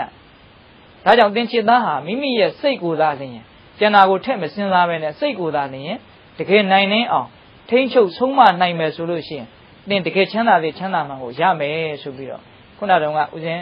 စတုန်းကရွတ်ပြတဲ့ဂါထာလေးကိုဟောတာနော်ဒုံနေကဟတလဟုနောယထကာမနိပါတနောစိတ်တတဓမ္မထောတာတို့စိတ်တန်တန်တန်ဒုက္ခဝဟံစိတ်ဆိုတာနှိမ်နှင်းဖို့ရန်ခဲရင်နေဟုတ်လားလျင်မြန်စွာဖြစ်ပျက်တဲ့သဘောရှိတယ်သူကြရင်တဲ့အာယုံကိုတင့်တော်တာမတင့်တော်တာတွေမရွေးချယ်ပဲနဲ့ကြရင်တဲ့နေရာမှာဗျံမရာစီးမရှိကမ်းမရှိကြတတ်တယ်အဲ့ဒီစိတ်ကိုယဉ်ကျေးအောင်ဆုံးမမယ်ဆိုရင် ကောင်းတယ် အဲ့ဒီဆုံးမထားတဲ့ယဉ်ကျေးတဲ့စိတ်ဟာကိုလိုချင်တဲ့ချမ်းသာဒုက္ခကိုတကယ်ပေးပါလိမ့်မယ်လို့အဲ့ဒီဂါထာလေးကိုမြတ်စွာဘုရားကဟောတာဟောတဲ့အခါကျတော့ဘေးကနားနေကြတဲ့ယဟန်တော်တွေလူတွေအကုန်လုံးအရိယာမဉ္ဇဉ်ဘုံဉဏ်တွေကိုရအကျိုးရှိတဲ့တရားဒေသနာတော်ဖြစ်တယ်သို့တော့ဒီယဟန်တော်လေးကတော့ဘာဖြစ်တယ်လို့မပါဘူးနော်ဒီယဟန်တော်လေးအဲ့ဒီဂါထာရဲ့အဆုံးမှာဘာဖြစ်သွားတယ်လို့မပါဘူးနော်သူတို့ရဲ့ဇလန်းကမဆုံးသေးဘူးပြီးတော့ဥစဉ်ကဆုံးအောင်ဆက်ပြောမယ်ဟုတ်လား ဂျားထဲမှာဥစဉ်ကဘာလေးပြောလိုက်ခြင်းတော့ဆိုတော့ကိုတတို့ရနော်အခုဒီမှာမြတ်စွာဘုရားဟောထားတယ်နော်စိတ်တန်ဒန်တန်ဒုက္ခဝဟံဒါလေးကိုနားထဲမှာဟိုအထက်ထက်ရိုးနေအောင်ကြားထားသေးခြင်းတယ်နော်သတိတာဝင်ရဟုတ်လားစိတ်တန်ဒန်တန်ဒုက္ခဝဟံဒန်တန်ဆုံးမသဖြင့်ယင်ကြီးသောစိတ်တန်စိတ်ဒီဒုက္ခဝဟံချမ်းသာဒုက္ခကိုပေးတတ်တယ်ယင်ကြီးအောင်ကိုယ်စိတ်ကိုဆုံးမမယ်ဆိုရင်အဲ့ဒီစိတ်ဟာကိုယ့်ကိုချမ်းသာဒုက္ခပေးလိမ့်မယ်နော် အဲ့တော့ဆုံးမပုံဆုံးမနည်းတွေကအမျိုးမျိုးရှိဆိုကြပါစို့ခုဒီပစ္စည်းလေးတွေသူတစ်ပါးလက်ကိုပေးနိုင်အောင်အပ်နိုင်အောင်လှူနိုင်အောင်တန်းနိုင်အောင်လဲကိုယ်စိတ်လေးကိုဆုံးမတာဟုတ်လားစိတ်ဆိုတာများသောအားဖြင့်တတ္တဝါဆိုတာကဒီဝန်တုံမှုမစ္စရိယရဲ့လိုချင်မှုလောဘရဲ့ဒါရဲ့လက်အောက်မှာကြက်ကြက်တဲတဲနေကြရတာကိုတတို့ရဟုတ်လားနော်မနဲ့လင်းလာရင်လင်းလာရင်ရဖို့ပိုင်ဖို့ဟုတ်တယ်မို့လား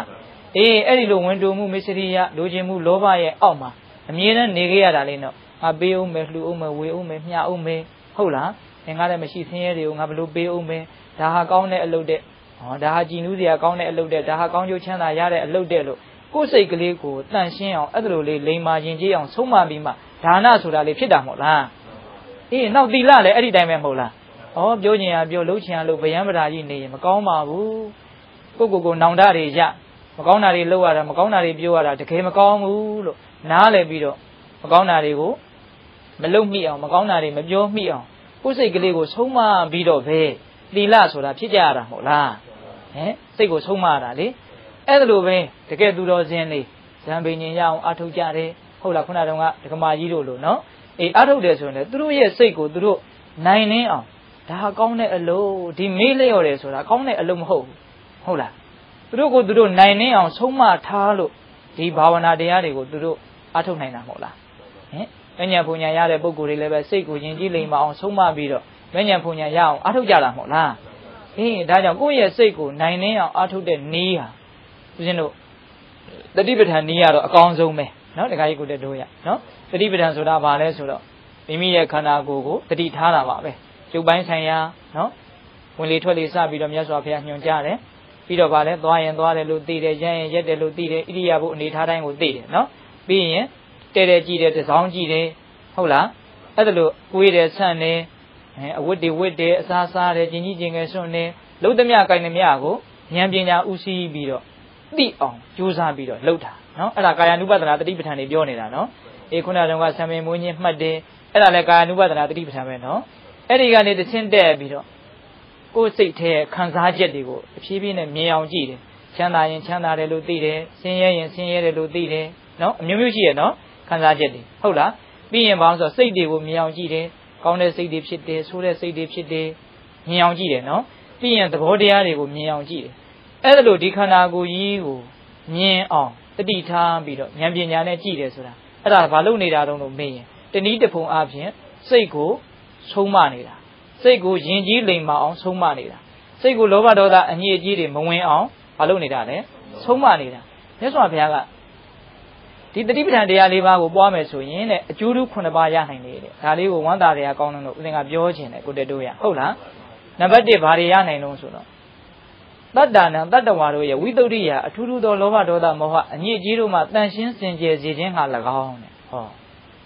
တတိပဒံတရား၄ပါးကိုပွားများလို့ရှိရင်မိမိရဲ့အတွင်းတရံမှာညင်နွမ်းမှုကိုဖြစ်စေတဲ့လူကျင်မှုတွေမကျေနပ်မှုတွေပြိုင်ဆိုင်မှုတွေဟုတ်လား ငါငါငါလို့ထင်မှုတွေမလိုလားအပ်တဲ့စိတ်ရဲ့အညစ်အကြေးတွေကိုတန်ရှင်းသွားအောင်ဖြူရှင်းသွားအောင်တတိပဋ္ဌာန်ဆိုတဲ့ရေစဉ်ကရှင်းကြိုးပေးနိုင်တယ်တဲ့ဒါနံပါတ်1ကြိုးတရားနော်အကျေမပြောဘူးနော်ဦးဇင်ကဟုတ်လားအေးပြီးတော့နံပါတ်2သောကပရိဒေဝနာတမတိတ်ကမာယ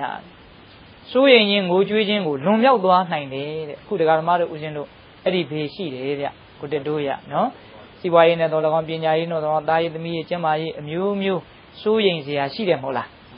မရှိသေးဘူးဆိုရင်လည်းမရှိသေးလို့ပြီးလာရင်ရှိလာမှာမဟုတ်လားတေချာပေါက်ရှိလာမှာတော့ကိုကလည်းစွန့်သွားမယ်ကိုကိုလည်းစွန့်သွားကြလိမ့်မယ်အမျိုးမျိုးကိုမလိုလားအပ်တဲ့အကျိုးတရားတွေဟာတေချာပေါက်တစ်ချိန်ချိန်မှာတစ်နေ့နေ့မှာတွေ့မယ်မဟုတ်လားအေးအဲ့ဒီလိုမျိုးစိုးရင်စရာတောကဘိုးကျွေးစရာပရိဒေဝတရားတွေလောလောဆယ်မှာလည်းပဲပြောရေးဆိုရေးဆက်ဆံရေးအဆင်မပြေလို့အမျိုးမျိုးအဆင်မပြေမှုကြောင့်စိတ်ရဲ့ဆိုးရင်မှုစိတ်ရဲ့ပူဆွေးမှုဆိုတာလူတိုင်းမှာမရှိဘူးလားရှိပါတယ်ငွေကြီးဘယ်လောက်ရှိရှိအဲ့ဒါကြော်လွှားနိုင်လားမ ကြော်လွှားနိုင်ဘူးသူ့ဟာနဲ့သူရှိနေနော်အဲ့ဒီသောကပရိဒေဝကိုကြော်လွှားခြင်းလို့ရှိရင်အဲ့ဒီတတိပဋ္ဌာန်ကိုလုံးတဲ့တိတိတာတာကိုအတိုင်းတာနဲ့ကိုသောကတွေပရိဒေဝတွေအလိုလိုကိုနဲသွားမယ်တဲ့ဒါဘုရားအာမခံခြင်းနဲ့ဟောတာနော်ကိုတက်တော့ဟုတ်လားအေးပြီးတော့ဒုက္ခဒေါမနတနာအထင်ကမာယကိုယ့်ရဲ့ဆင်းရဲခြင်းဒုက္ခစိတ်ရဲ့ဆင်းရဲခြင်းဒေါမနတတရားတွေကိုချုပ်ငိမ့်သွားစေလိမ့်မယ်တဲ့တကယ့်ချမ်းသာအစစ်ကိုရမယ်လို့ပြောတာနော်စိတ်ထဲမှာဆင်းရဲနေတာကိုယ်ထဲမှာဆင်းရဲနေတာတွေကိုတိတိပ္ပံတရား၄ပါးက ကြောက်သွားအောင်ချုပ်သွားအောင်စွန့်နိုင်တဲ့စွန့်တတိရှိဟုတ်လားအေးနော်ပြီးတော့ဘာလို့ဆိုတော့ညာယတအဓိကမာယအရိယာမဉ္ဇဉ်ဖူဉ္ဇဉ်ကိုရလိမ့်မယ်နိဗ္ဗာန်တသစ္စည်းကိရိယာယနိဗ္ဗာန်ကိုမျက်မှောက်ပြုလိမ့်မယ်တဲ့တိပ္ပံတရား၄ပါးနဲ့မိမိရဲ့စိတ်ကိုယဉ်ကျေးအောင်လိမ်မအောင်ဆုံးမမယ်ဆိုရင်အဲ့ဒီအကျိုးတူခုနှစ်ပါးမရဘူးလားစိတ်ရဲ့အငြိကြီးကင်းမယ်တောကငြိမ့်မယ်ပရိဒေဝငြိမ့်မယ်ဒုက္ခငြိမ့်မယ်ဒေါမနတငြိမ့်မယ်မဲ့ဉဏ်ကိုရမယ်နိဗ္ဗာန်ကိုမျက်မှောက်ပြုမယ်ခုနှစ်ပါးနော် အေးအဲ့ဒီလိုအကျိုးတရားတွေဟာမိမိရဲ့စိတ်ကိုမိမိလိမ်မာအောင်ယဉ်ကျေးအောင်ဆုံးမပြီးတော့မိမိကစိတ်ရဲ့အလိုကိုမလိုက်ဖဲနဲ့စိတ်ကိုသာလည်းမိမိရဲ့အလိုကိုလိုက်စီပြီးတော့ကြိုးစားမှဖြစ်လာမှာမဟုတ်လားအေးဒါကြောင့်စိတ်ကိုဆုံးမရင်အဲ့လိုအကျိုးကျေးဇူးတွေရနိုင်တယ်ဒါကလည်းပဲကိုကိုယ်တိုင်ထိုက်တဲ့လောက်လက်တွေ့လှုပ်ဖူးမှဒီဒေသနာတော်တွေကိုဟုတ်တယ်မှန်တယ်လို့ထောက်ခံနိုင်ကိုကိုယ်တိုင်လက်တွေ့မလှုပ်ဖူးရင်တော့ယုံကြည်မှုတရားရှိရင်လည်းမဆိုးဘူးပေါ့လေ တချို့လက်တွေ့လည်းလှုပ်မကြည့်ဘူးတရားတရားကလည်းသိမရှိဘူးဆိုလို့ရှိရင်ဒါတွေကိုမယုံနာတွေပါလေရှိကောင်းရှိလိမ့်မယ်ဟုတ်လားတရားသဘောဆိုတာမြတ်စွာဘုရားကတန်ဒိဋ္ဌိကိုတဲ့ကိုယ်တိုင်ဗါတဲ့တုံးတွေ့နိုင်တယ်မြင်နိုင်တယ်တဲ့ဒကာကြီးကိုတက်တို့ရဟုတ်လားအဲ့တော့ကိုယ်တိုင်ကြိုးစားဖို့မလိုဘူးလားလိုတယ်ဦးဇင်းတို့မြတ်စွာဘုရားလက်ထက်ကအဖြစ်အပျက်တစ်ခုပြောပြဒန္တဘူမိသုတ်တံတဲ့ဒါလေးကိုဦးဇင်းကအင်မတန်ပြောခြင်းတယ်ဟုတ်လားအင်မတန်လည်းကောင်းပါတယ်ဘာလဲဆိုတော့ မြတ်စွာဘုရားဝေလူဝန်ကျောင်းတိုင်းမှာသတင်းသုံးတော့ခုနတုန်းကမာတိကမာတာကမဆုံးသေးဘူးနော်အဲပြီးရင်လာအောင်မယ်သူကဟုတ်လားအဲ့ဒီမှာမြတ်စွာဘုရားဝေလူဝန်ကျောင်းတိုင်းမှာသတင်းသုံးတော့ဝေလူဝန်ကျောင်းထဲမှာကမ္မထမ်းကျောင်းလေးတွေစောက်ထားတာရှိအဲ့ဒီကမ္မထမ်းကျောင်းတိုက်ထဲမှာဟိုယဟန်နေကိုရင်နေအများကြီးရှိတဲ့နက်ကအစိရဝတ္တဆိုတဲ့ကိုရင်တစ်ပါးရှိနော်ဒီနေ့တော့အဲ့ဒီကိုရင်ဒီကိုဦးဇင်းတို့ဗိမိတာရမင်းကြီးရဲ့သားဇယသေနဆိုတဲ့မင်းသား ကျောင်းတော်ကိုလမ်းလျှောက်ရင်းနဲ့အညောင်းပြေလမ်းလျှောက်ရင်းနဲ့ရောက်လာတာရောက်လာတော့အဲ့ဒီဇယသေနကအစိရဝတ္တကိုရင်ကြီးနေတဲ့ကျောင်းလေးပေါ်တက်သွားပြီးတော့ရှ िख ိုးဥချအလဘတလဘပြောပြီးတော့သူကဘာပြောတုံဆိုတော့အရှင်ဘုရားအရှင်ဘုရားတို့ရဲ့သာသနာတော်မှာမှန်မှန်ကန်ကန်တကယ့်ကိုပဲကြိုးစားအထုတ်မယ်ဆိုလို့ရှိရင်စိတ်ရဲ့ငြိမ်းချမ်းမှုစိတ်ရဲ့တည်ငြိမ်မှုကိုရနိုင်တယ်လို့ဘုရားတပည့်တော်ကြားဘူးပါတယ်တဲ့အဲ့ဒါဟုတ်လားတဲ့ မှန်မှန်ကန်ကန်နဲ့တကယ်ကြိုးစားမယ်ဆိုရင်စိတ်ရဲ့တည်ငြိမ်မှုကိုရနိုင်တယ်လို့အရှင်ဘုရားတို့ဟောတယ်လို့ပြောတယ်တဲ့အရှင်ဘုရားတို့ဘုရားဟောတယ်လို့ပြောတယ်အဲ့ဒါဟုတ်လားတဲ့အဲ့တော့ကိုရင်ကဟုတ်တယ်တခါကြီးအဲ့ဒီလိုပြောတဲ့အခါကျအဲ့လိုဆိုရင်တပည့်တော်ကိုအဲ့ဒီတရားလေးဟောစမ်းပါဖေရအဲ့တော့ကိုရင်ကဘာပြောတော့ဆိုတော့ကျုပ်ကဟောပြီးတော့မင်းသားကတကယ်လို့နားမလဲဘူးဆိုရင်ကိုရင်ပင်မယုံမယ်ရှိမယ်တဲ့ဟုတ်လားအဲ့ဒီလိုပြောတဲ့အခါကျတော့ရှင်ဘုရားဟောတာဟောပါတပည့်တော်နားလေတန်ကောင်းပါရဲ့ အဲ့ဒီလိုပြောတဲ့အခါကျတော့ကိုရင်ကအဲ့ဒါလို့ဆိုရင်ဝန်ခံချက်ပေးရကျုပ်ဟောတဲ့တရားကိုဘာမှစောတကမတက်နဲ့မဖြစ်နိုင်ဘူးလို့လည်းမပြောနဲ့ညင်းလည်းမညင်းနဲ့အမေအဲ့ဒါလိုဝန်ခံချက်တောင်းပြီးတော့ဟောတာနော်အဲ့တော့အရှင်ဘုရားဟောတာဟောပါတပည့်တော်ပြန်ပြီးတော့မပြောပါဘူးမေးလည်းမမေးပါဘူးညင်းလည်းမညင်းပါဘူးဘုရားဟောပါဆိုတော့အေးအဲ့လိုဆိုရင်ကောင်းကောင်းနာဆိုပြီးတော့ကိုရင်ကတရားဟောတယ်တဲ့မှန်တဲ့အတိုင်းဟုတ်တဲ့အတိုင်းပြင်းပြင်းထန်ထန်ကြိုးစားကြင်ကြံကြိုးကိုအားထုတ်လို့ရှိရင်စိတ်ရဲ့တည်ငြိမ်မှုကိုရနိုင်တယ်ဆိုတဲ့အကြောင်းကို သူသိတဲ့လောက်တက်တဲ့လောက်ပေါ့အမှန်အကန်ဟောပြတာကိုရင်ကအဲဖော်ပြီးတော့ကိုရင်ကတော့တကယ်မိုးကြီးပန်းကြီးဟောတာပဲတရားလဲဟောလဲပြီးပြီဆိုတော့မင်းသားကဘာပြောတော့ဆိုတော့ရှင်ဗျာကြိုးစားအားထုတ်လို့မှန်မှန်ကန်ကန်ကြိုးစားအားထုတ်လို့စိတ်ရဲ့တည်ငြိမ်မှုကိုရနိုင်တယ်ဆိုတာလုံးဝမဖြစ်နိုင်ဘူးတဲ့မဟုတ်ဘူးတဲ့အဲ့ဒါအကြောင်းမဟုတ်ဘူးဒီတော့မယုံဘူးတဲ့ဘာဖြစ်လို့တုံးဆိုတော့စိတ်ဆိုတာအင်မတန်မြန်တယ်ဒီစိတ်ကိုနိုင်အောင်လုပ်လို့ရတယ်ဆိုတာဒီတော့လက်မခံဘူးတဲ့ဒါအကြောင်းမဟုတ်ဘူးဟော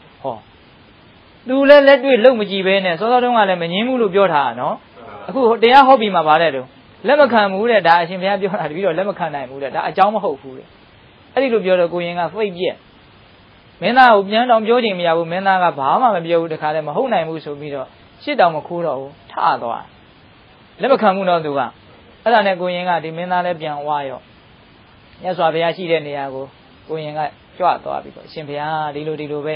ဇေယသေနာမင်းသားတပည့်တော်ဒီရောက်လာပြီးတော့ကျင့်ကြံကြိုးကိုအားထုတ်ရင်စိတ်ရတည်ငြိမ်မှုကိုရနိုင်တယ်ဆိုတာလက်မခံဘူးအကြောင်းမဟုတ်ဘူးလို့ပြောသွားတယ်ခင်ဗျာအဲ့ဒီတော့မြတ်စွာဘုရားကရှစ်သားမြတ်စွာဘုရားပြောတာလေးတွေကအင်မတန်မှတ်သားကြရကောင်းတယ်အဲ့ဒီမှာစပြောတာနော်နိခမတရားဖြင့်သိသင့်သိတိုက်တဲ့ရောက်တဲ့ရောက်ထိုက်တဲ့မျက်မှောက်ပြုတဲ့မျက်မှောက်ပြုတိုက်တဲ့ဒီစိတ်ရဲ့တည်ငြိမ်ခြင်းဆိုတဲ့တရားအထူးတရားအမျက်တွေကိုကာမဂုဏ်တော်ထဲမှာနေပြီးတော့ကာမကိုခံစား ကာမကိုပဲမြတ်နိုးပြီးတော့ကာမကိုပဲရှားဖွေးပြီးတော့ကာမဝိတ္တတွေထိုးကျင့်နေတဲ့ဒီကာမဂုဏ်တော်တွေကဇယသေနာဆိုတဲ့မင်းသားလုံးဝမသိနိုင်ဘူးတဲ့သိနိုင်စရာအကြောင်းမရှိဘူးတဲ့နော်ဒကာကြီးကိုတက်တို့ရကာမဂုဏ်တော်ထဲမှာကာမကိုပဲတန်ဖိုးထားကာမကိုပဲရှာဖွေရင်းနဲ့အချိန်ကုန်ကာမဝိတ္တတွေထိုးကျင်တာကိုပဲခံပြီးတော့ဒီတရားဘက်ကိုလုံးဝဝါသနာမပါဘဲနဲ့ဒီကာမဂုဏ်ကိစ္စနဲ့ပဲအချိန်ကုန်နေတဲ့လူတစ်ယောက်အနေနဲ့ဒီနိခမတရားဖြင့်ရောက်တဲ့ရောက်ထိုက်သိတဲ့သိတိုက် မျက်မှောက်ပြုတဲ့မျက်မှောက်ပြုတဲ့တရားအထူးတွေကိုဗါတဲ့တော့မသိနိုင်ဘူးတဲ့အဲ့ဒါအကြောင်းမဟုတ်ဘူးတဲ့အဲ့ဒါလိုပြောတော့ဒကမာကြီးတွေစိတ်ဓာတ်မြန်ကြသွားတာဟင်ကြတယ်နော်ကိုကဆိုကြပါစို့ဘုရားရှိခိုးထိုင်ပြီးတော့ဘုရားဟုတ်တက်တယ်မေတ္တာပို့တယ်တရားမှတ်နေတယ်ဆိုအဲ့ဒီချိန်မှာကာမတော်ထဲမှာနေတယ်လို့ပြောလို့ရလားမရဘူးအဲ့ဒီချိန်တည်ငါလေးဘာလုပ်နေတော့လွတ်နေတယ်နော်ဆိုလိုတာကအဲ့ဒီကာမထဲမှာနေရင်တန်းလန်းနဲ့ကာမတွေကိုခံစားပြီးတော့ဒီဘက်ကနိခမတရားကိုတို့မှကုသိုလ်တရားဘက်ကို ဝါသနာမပါဘဲနဲ့နေတဲ့လူတယောက်အနေနဲ့ဆိုရင်ဒီတရားလူတရားမြတ်တွေကိုလုံးဝသိနိုင်စရာအကြောင်းမရှိဘူးတဲ့။ဒါမြတ်စွာဘုရားကတော့အဲ့ဒါလိုပုံဝင်လင်းလင်းပြောတာပဲဟုတ်လား။အဲ့ဒီမှာဘာဥပမာပြောတုံးဆိုတော့ဆင်းလိမ္မာတွေမြင်းလိမ္မာတွေနွားလိမ္မာတွေလုံနိုင်တဲ့အလုပ်ကိုဆင်းရိုင်းမြင်းရိုင်းနွားရိုင်းတွေမလုံနိုင်ဘူးတဲ့။ဟောဒီဥပမာလေးသိကောင်းတာပဲ။ဟင်ဒကာကြီးကိုတက်တို့ရဆင်းလိမ္မာတွေမြင်းလိမ္မာတွေလုံတဲ့အလုပ်မျိုးကိုဆင်းရိုင်းမြင်းရိုင်းတိုးတဲ့က လူနဲ့တခါမှမတွေ့ရတဲ့ရိုင်းဆိုင်နေတဲ့ဆင်ရိုင်းမြင်းရိုင်းတွေပါလေမလုံနိုင်ဘူးတဲ့ခုဒီလူတွေဆက်ကတွေပါလေကြည်ဘူးတယ်နော်တို့အင်မတန်လိမ်မာတဲ့တိရစ္ဆာန်လေးတွေရှိတယ်မဟုတ်လား